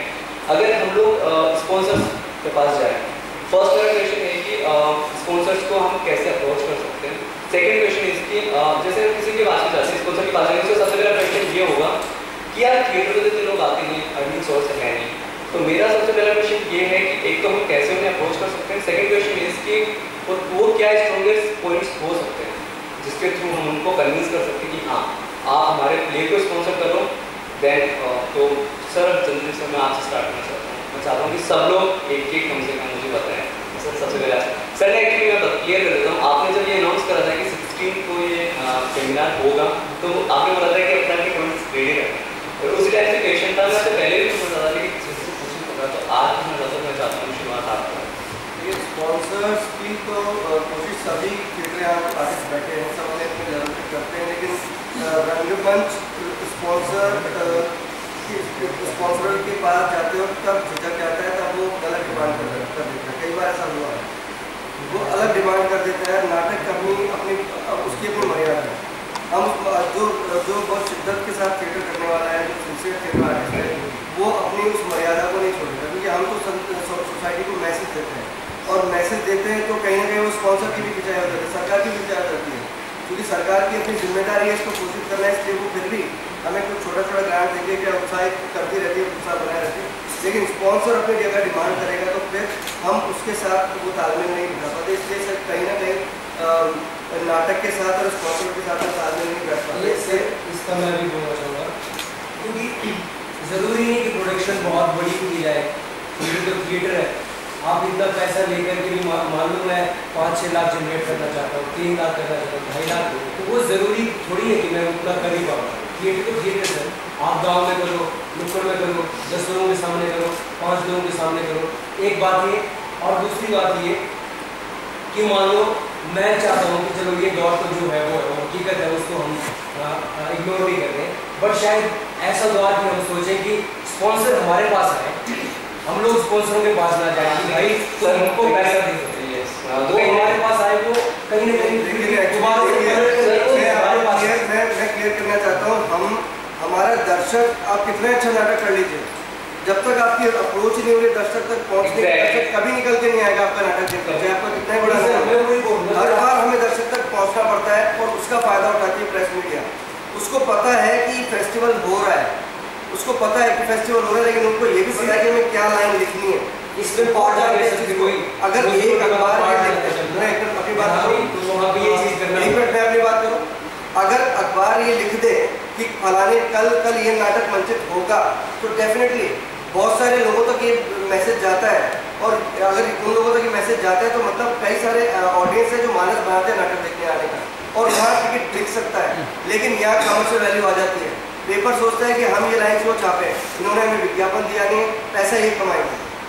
ये वाकई में बहुत बड़ा गैप है। नेक्स्ट हमारी टॉक इसी मुद्दे पर हम टॉक करेंगे प्रेस मीडिया के साथ में थिएटर आर्टिस्ट के साथ में, ताकि कहीं ना कहीं रास्ता निकले, क्योंकि ये बहुत बड़ा हो गया सर्वाइवल का भी मैटर है। आप आप नौकरी भी करते हैं थिएटर करते हैं, बहुत अच्छी बात है। मैं इस बात को बहुत अप्रिशिएट करता हूँ। क्योंकि मुझे लगता है कि आज के टाइम पे यही सबसे बड़ी रिक्वायरमेंट है। आप फुल फ्लैजेड थिएटर कर ही नहीं सकते। चाहे ग्रांट मिलने लगती है तो हमारी रियली वेरी सॉरी मैं सिर्फ़ राजस्थान जयपुर की बात नहीं करना चाहता। मैं पूरे हिंदुस्तान के रंगमंच की स्टडी करता हूँ फेसबुक के थ्रू लोग जब अनुदान नहीं मिल रहा था, तब भी लोग रो रहे थे, तब भी लोग टांग खींच रहे थे, आज मिल रहा है, तब भी कर रहे मतलब हम अपने आप को बदलना ही नहीं चाहते। मैं बहुत सारे नाम यहाँ गिरा सकता हूँ। बहुत सारी चीज़ें। तो क्यों? और और साथ ही साथ रंगमंच क्या अनुदान के बेस पे जीवित रहेगा? अनुदान तो छोटा सा सहयोग गवर्नमेंट दे रही है ताकि आप काम करें, आप बने रहें, लेकिन हम उसका हो जाते हैं, इसको तो मिलने लग गया, अब हमें क्यों नहीं मिल रहा? तो ये हमें इससे ऊपर उठना पड़ेगा, तभी रंगमंच का बदलाव हो सकता है। और अगर लगता है कि अनुदान वाकई में गलत चीज़ है तो बंद करवाइए इसे। मैं साथ दूँगा आपका। मैं भी खड़ा बंद करवाइए एक तरफ़ हम अनुदान लेते लेना चाहते हैं दूसरी तरफ़ हम उसको क्रिटिसाइज करते हैं ये क्यों दो बातें होती हैं मैं आज तक समझ नहीं पा रियली ये बहुत खतरनाक है। इससे ये कुछ मैगजीन छपती है दिल्ली से। जब उनको क्या उनको मैगजीन उनके जो पाठक हैं क्या उस मैगजीन को सब खरीदते हैं? उनको भी तो उसको चलाने के लिए कहीं ना कहीं से फंडिंग करनी पड़ती होगी। क्या यूँ छप जाती है चीज़? सरकार से नहीं लेते होंगे किसी और से लेते होंगे? वो भी तो अनुदान ही है। मैं प्राइवेट हूँ.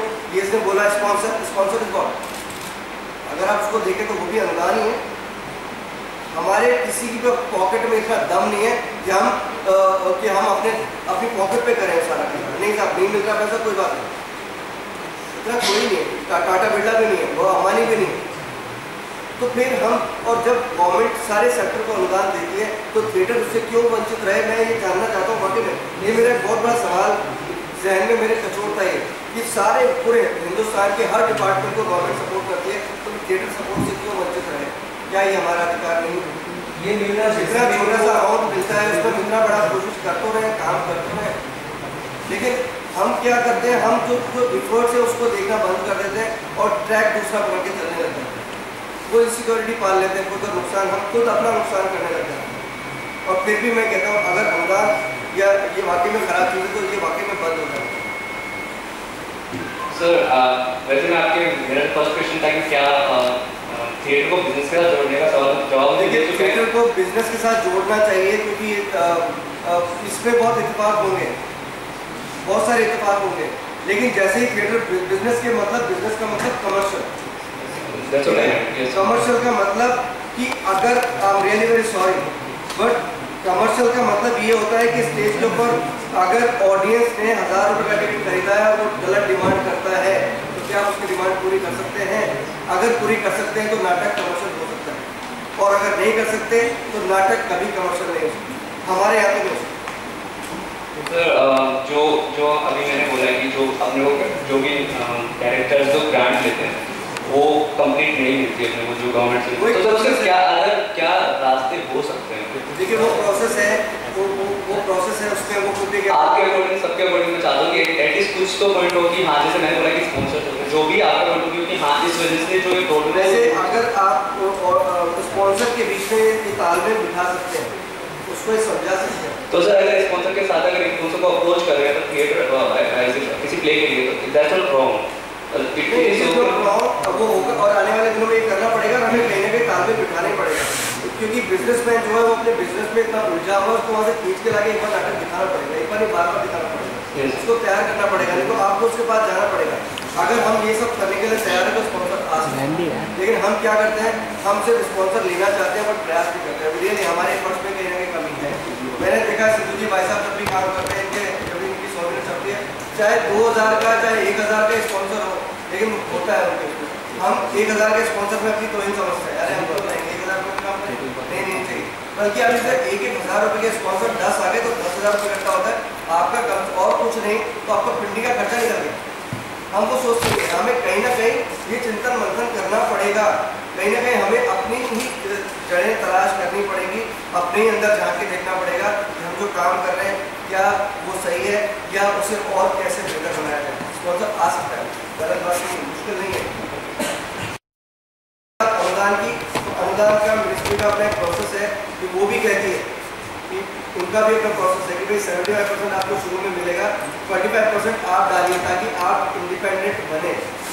ऐसा नहीं हो कि भैया सारा आप तो डिपेंडेंट हो गए उस पर अब आप कुछ करोगे आप इंडिपेंडेंट बनो लेकिन सर लेकिन सर जो 25 परसेंट जो पैसा आता है अगर एक मतलब पूरे दिन एक इंसान एक पर्सन है जो दिन भर दिन रात काम कर रहा है वो 25 परसेंट पैसा लाएगा क्योंकि वो तो अपना अ, पूरा टाइम है वो 70 वो वो तो पूरा टाइम भी थिएटर को दे रहा है ऐसे में वो 25 परसेंट पैसा आएगा कहाँ से वो तो बोल ग्रुप ने डिसाइड करते वो या तो ग्रुप डिसाइड करे इसके इसका मैं जवाब देता हूँ भैया आपने कहा आपको सात महीने हुए थिएटर में तो आप एक्टर बनने आए हो या बिजनेसमैन सर मैंने एक्चुअली मैंने सबसे पहले पूछा था आपने लक्ष्य क्या? लक्ष्य क्या? आपका लक्ष्य क्या है? नो सर नहीं गलत बात actually I just want to clear your question and मैं कैन बच्चे ने कुछ गलत क्वेश्चन नहीं है। उसने एक सिंपल सी बात पूछी है कि क्या थिएटर को स्पॉन्सरशिप में करना चाहिए क्योंकि आप ही लोग अभी आगे भविष्य की बात कर रहे हैं ना तो ये क्वेश्चन हमारे नहीं आपके भविष्य से जुड़ा हुआ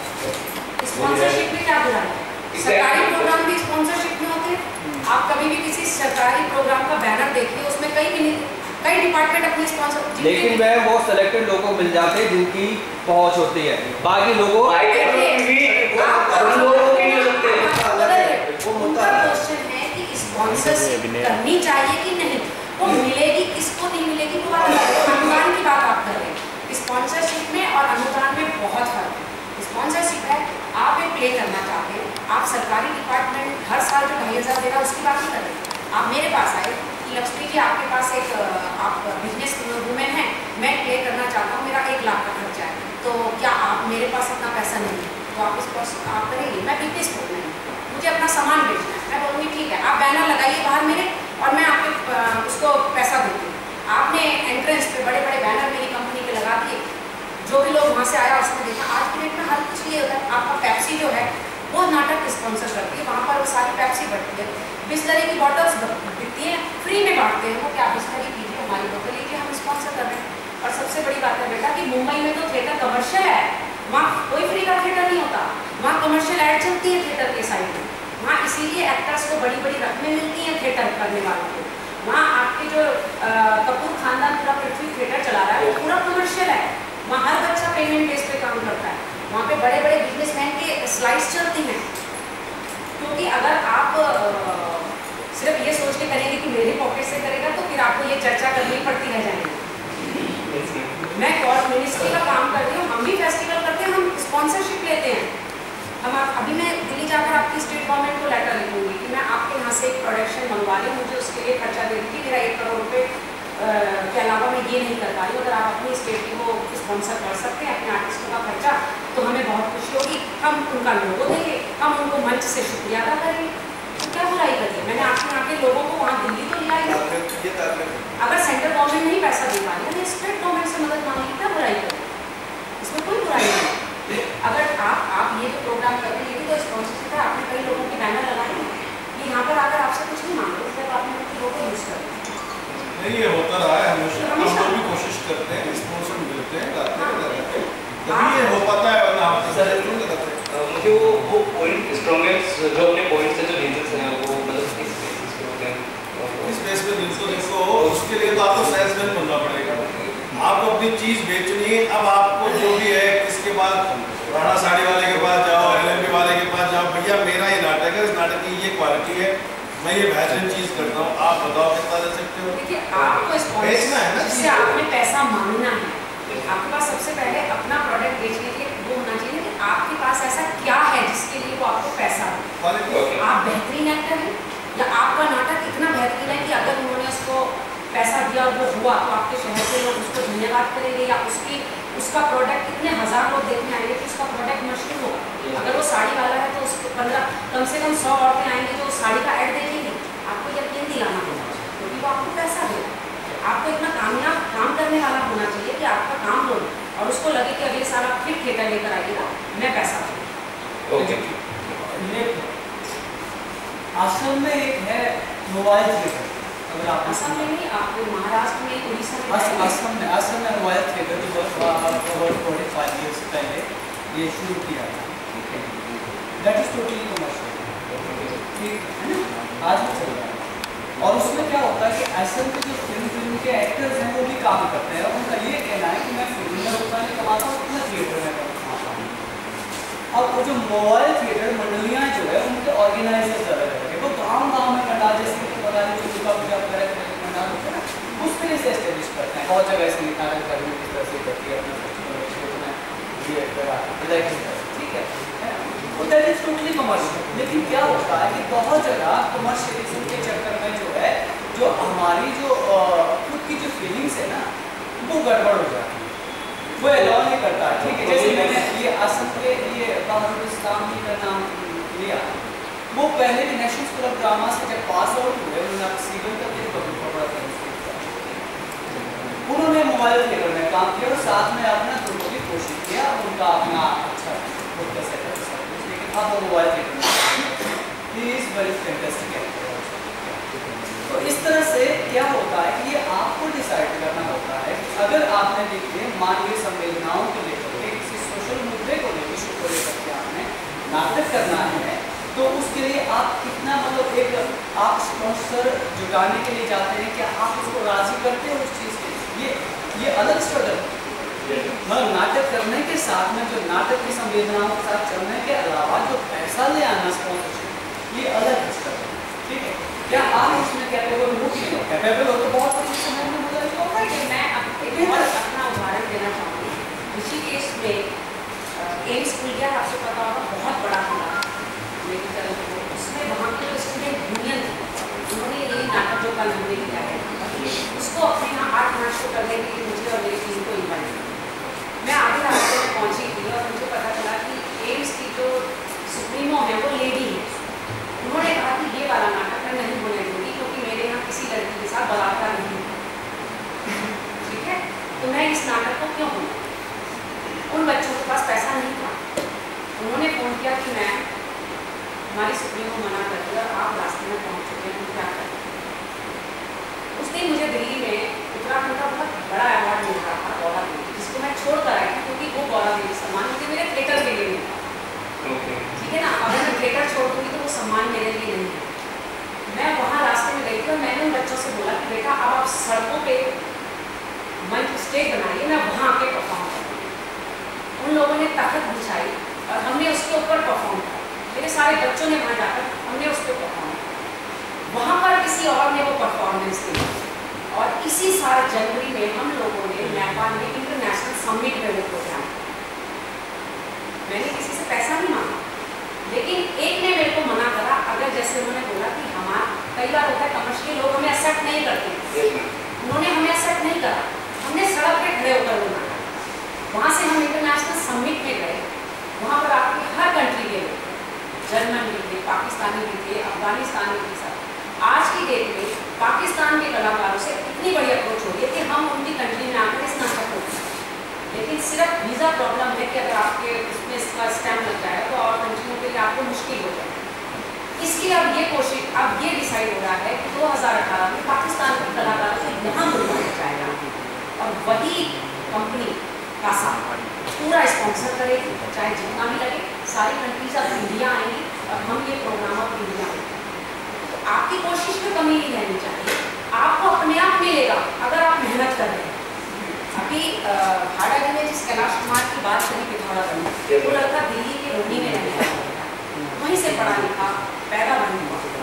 तीन साल से वो वापस दिल्ली छोड़कर अपने परिवार को छोड़कर वो पिथौरा कर चला। अब वहाँ वो थिएटर में काम इसी साल 2017 में वहाँ के गवर्नमेंट के साथ उसकी बहुत बड़ी लड़ाई चली। उन्होंने कहा मार्च सत्ताईस तारीख को जब वर्ल्ड थिएटर देखता है वो एक प्रोग्राम करेगा उसमें सारी अच्छी फ़िल्में बनाएँगे। जैसे जाने की वगैरह उसने कहा कि सर ये थिएटर नहीं है इसमें थिएटर होना चाहिए। हमने बोला थिएटर देखने आज की डेट में कोई नहीं हमने कहा कोशिश तो करिए क्योंकि वहाँ पर किसी ने अभी तक स्टेज थिएटर नहीं देखा। वो फ़िल्म उसने हमें फ़ोन करके बोला कि मैम आप आएँगे। हमारा एक माइग्रेशन के ऊपर जिससे हम ले हैं। आप उस कैलाश कुमार से पूछिएगा, आपको बहुत अच्छे दोस्त हैं। जाने भी तो जाओ, जैसे फ़िल्म देखने के लिए हाँ सिर्फ़ मेरे स्टूडेंट बैठे आप फ़ोटो देख सकते और जिस जिस वक्त हमारा प्ले था, आप उनसे फ़ोटो मांगिएगा। जिस होटल में हम रहते थे, उसका मालिक नहीं घुस पाया, उसकी बीवी सिर्फ़ घुस पाई। और चीफ गेस्ट अंदर एंटर नहीं कर पाए, उनको पीछे से स्टेज के रास्ते उतारना पड़ा। इतना रश वहाँ पर था। वहाँ पूरी मिलिट्री घुस गई थी पास में बैठे थे प्ले देखने के लिए और अब उनकी रिक्वेस्ट है कि हम अगले साल उनके लिए भी एक नाटक है तो आपके अगर आप अपने प्रोडक्ट आपने अच्छा काम कर रखा है ना आप उनसे बोलिए वो एक बार ना करेंगे ना जब आपकी बात उनके काम की पहुँचेगी आपको मिलेगा इसलिए स्पॉन्सरशिप के लिए किसी से पैसा मांगने में कोई हर्ज नहीं। बिजनेसमैन अगर आप कल को कारें वाली बिज़नेस करते हैं तो क्या आप उसके लिए किसी से पैसा नहीं मांगेंगे? बैंक से लोन क्या वो अंबानी ने क्या लोन नहीं लिया? करोड़ों का कर्जा है उसको। तो आप थिएटर के बारे में कैसे तो बहुत इसके मामले हेलो मैम जैसे जैसे मेरा सवाल ये था तो आपने देखा कि लोगों के व्यूज़ चेंजेस चेंज हो जाते हैं आप लोग सब थिएटर के कि थिएटर से हो तो इस, बात को समझ सकते हो। तो इस वजह से मैंने आपके साथ क्योंकि जब नॉर्मल इंसान यहाँ पे भी लोग सब लोग थिएटर से कनेक्टेड है स्टिल दो लोगों ने ऑब्जेक्ट करा कि थिएटर करने आए कि स्पॉन्सरशिप लेने आए तो वो गलत इसके बस ये है आप उसको बिज़नेस नहीं बोलिए। आप उसको कमर्शलाइज Commercialize, आपने कमर्शियल सिनेमा भी देखा है आपने आर्ट. सिनेमा भी देखा है दोनों में बहुत फ़र्क है। हाँ। तो फिर हम जब हम सिनेमा कमर्शियल देखना पसंद करते हैं तो थिएटर में अगर हम हम कमर्शियल नहीं कर रहे हैं कम से कम उस पर स्पॉन्सरशिप Yeah. उनका सिर्फ़ नाम यूज़ कर रहे हैं उनका लोगो यूज़ कर रहे हैं। क्वेश्चन की पीछे जो वजह थी वो ये थी कि जिन लोगों के अ, जो अ, जैसे मैंने आपसे क्वेश्चन करा जैसे लोगों के ऑब्जेक्शन है तो मैं चाहता था कि ये आप सब लोगों के थ्रू ये बात लोगों में पहुँच जाए कि हाँ there is nothing wrong wrong अगर आप कुछ भी अगर थिएटर का तो हमारे स्पॉन्सर करने माइंड करने के लिए पैसा तो चाहिए ये सर मैं वही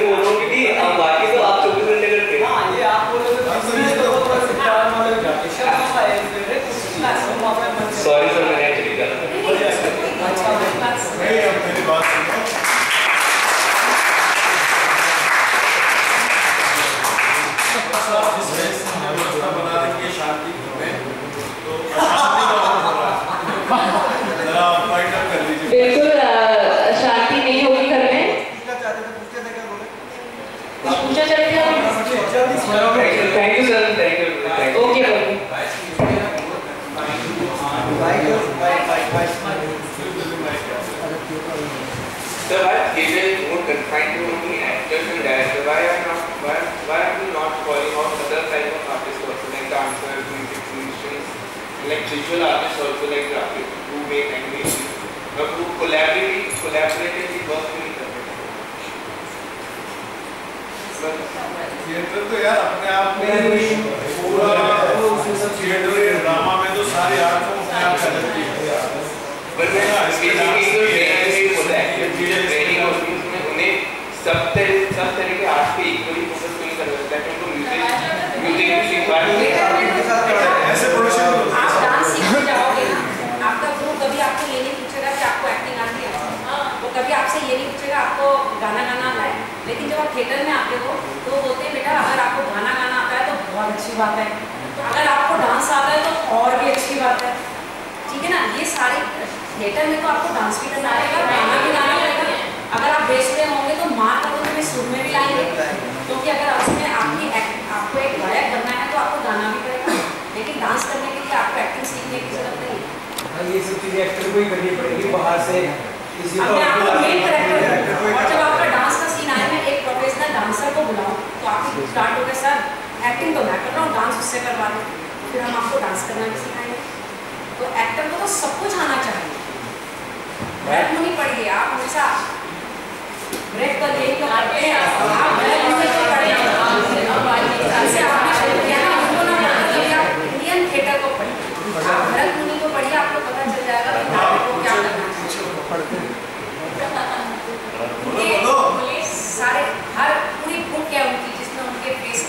है पूरी बुक है। फेस उसको देखिए आप। आपको बाहर के थिएटर पढ़ने की बाद में ज़रूरत पड़ेगी पहले आपको वो सब निकले नाट्यशास्त्र से सबने भरत मुनि पढ़ाया है। क्लासिकल डांस में एमए का कोर्स है ये सारा नाट्य शास्त्र से मुद्राएँ लिए हस्तमुद्राएँ भाव है वो सारे नाट्य सबसे बड़ी अच्छी बात जो केसर केहर सिंह जी ने बोली है एक डांसर से पूछना वो अपने क्लास के अलावा कितने घंटे प्रैक्टिस करता है डांस चौबीस घंटे उसके हाथ में चलते हैं। एक गायक को पूछना, और रियाज कितने घंटे करता है? एज एन एक्टर आप कितने घंटे रियाज प्रैक्टिस करते हैं? आप सिर्फ़ अपनी क्लास में दो ढाई घंटे जो आपकी चलती होगी उसके बाद आप घर में करते ही नहीं होंगे। हाँ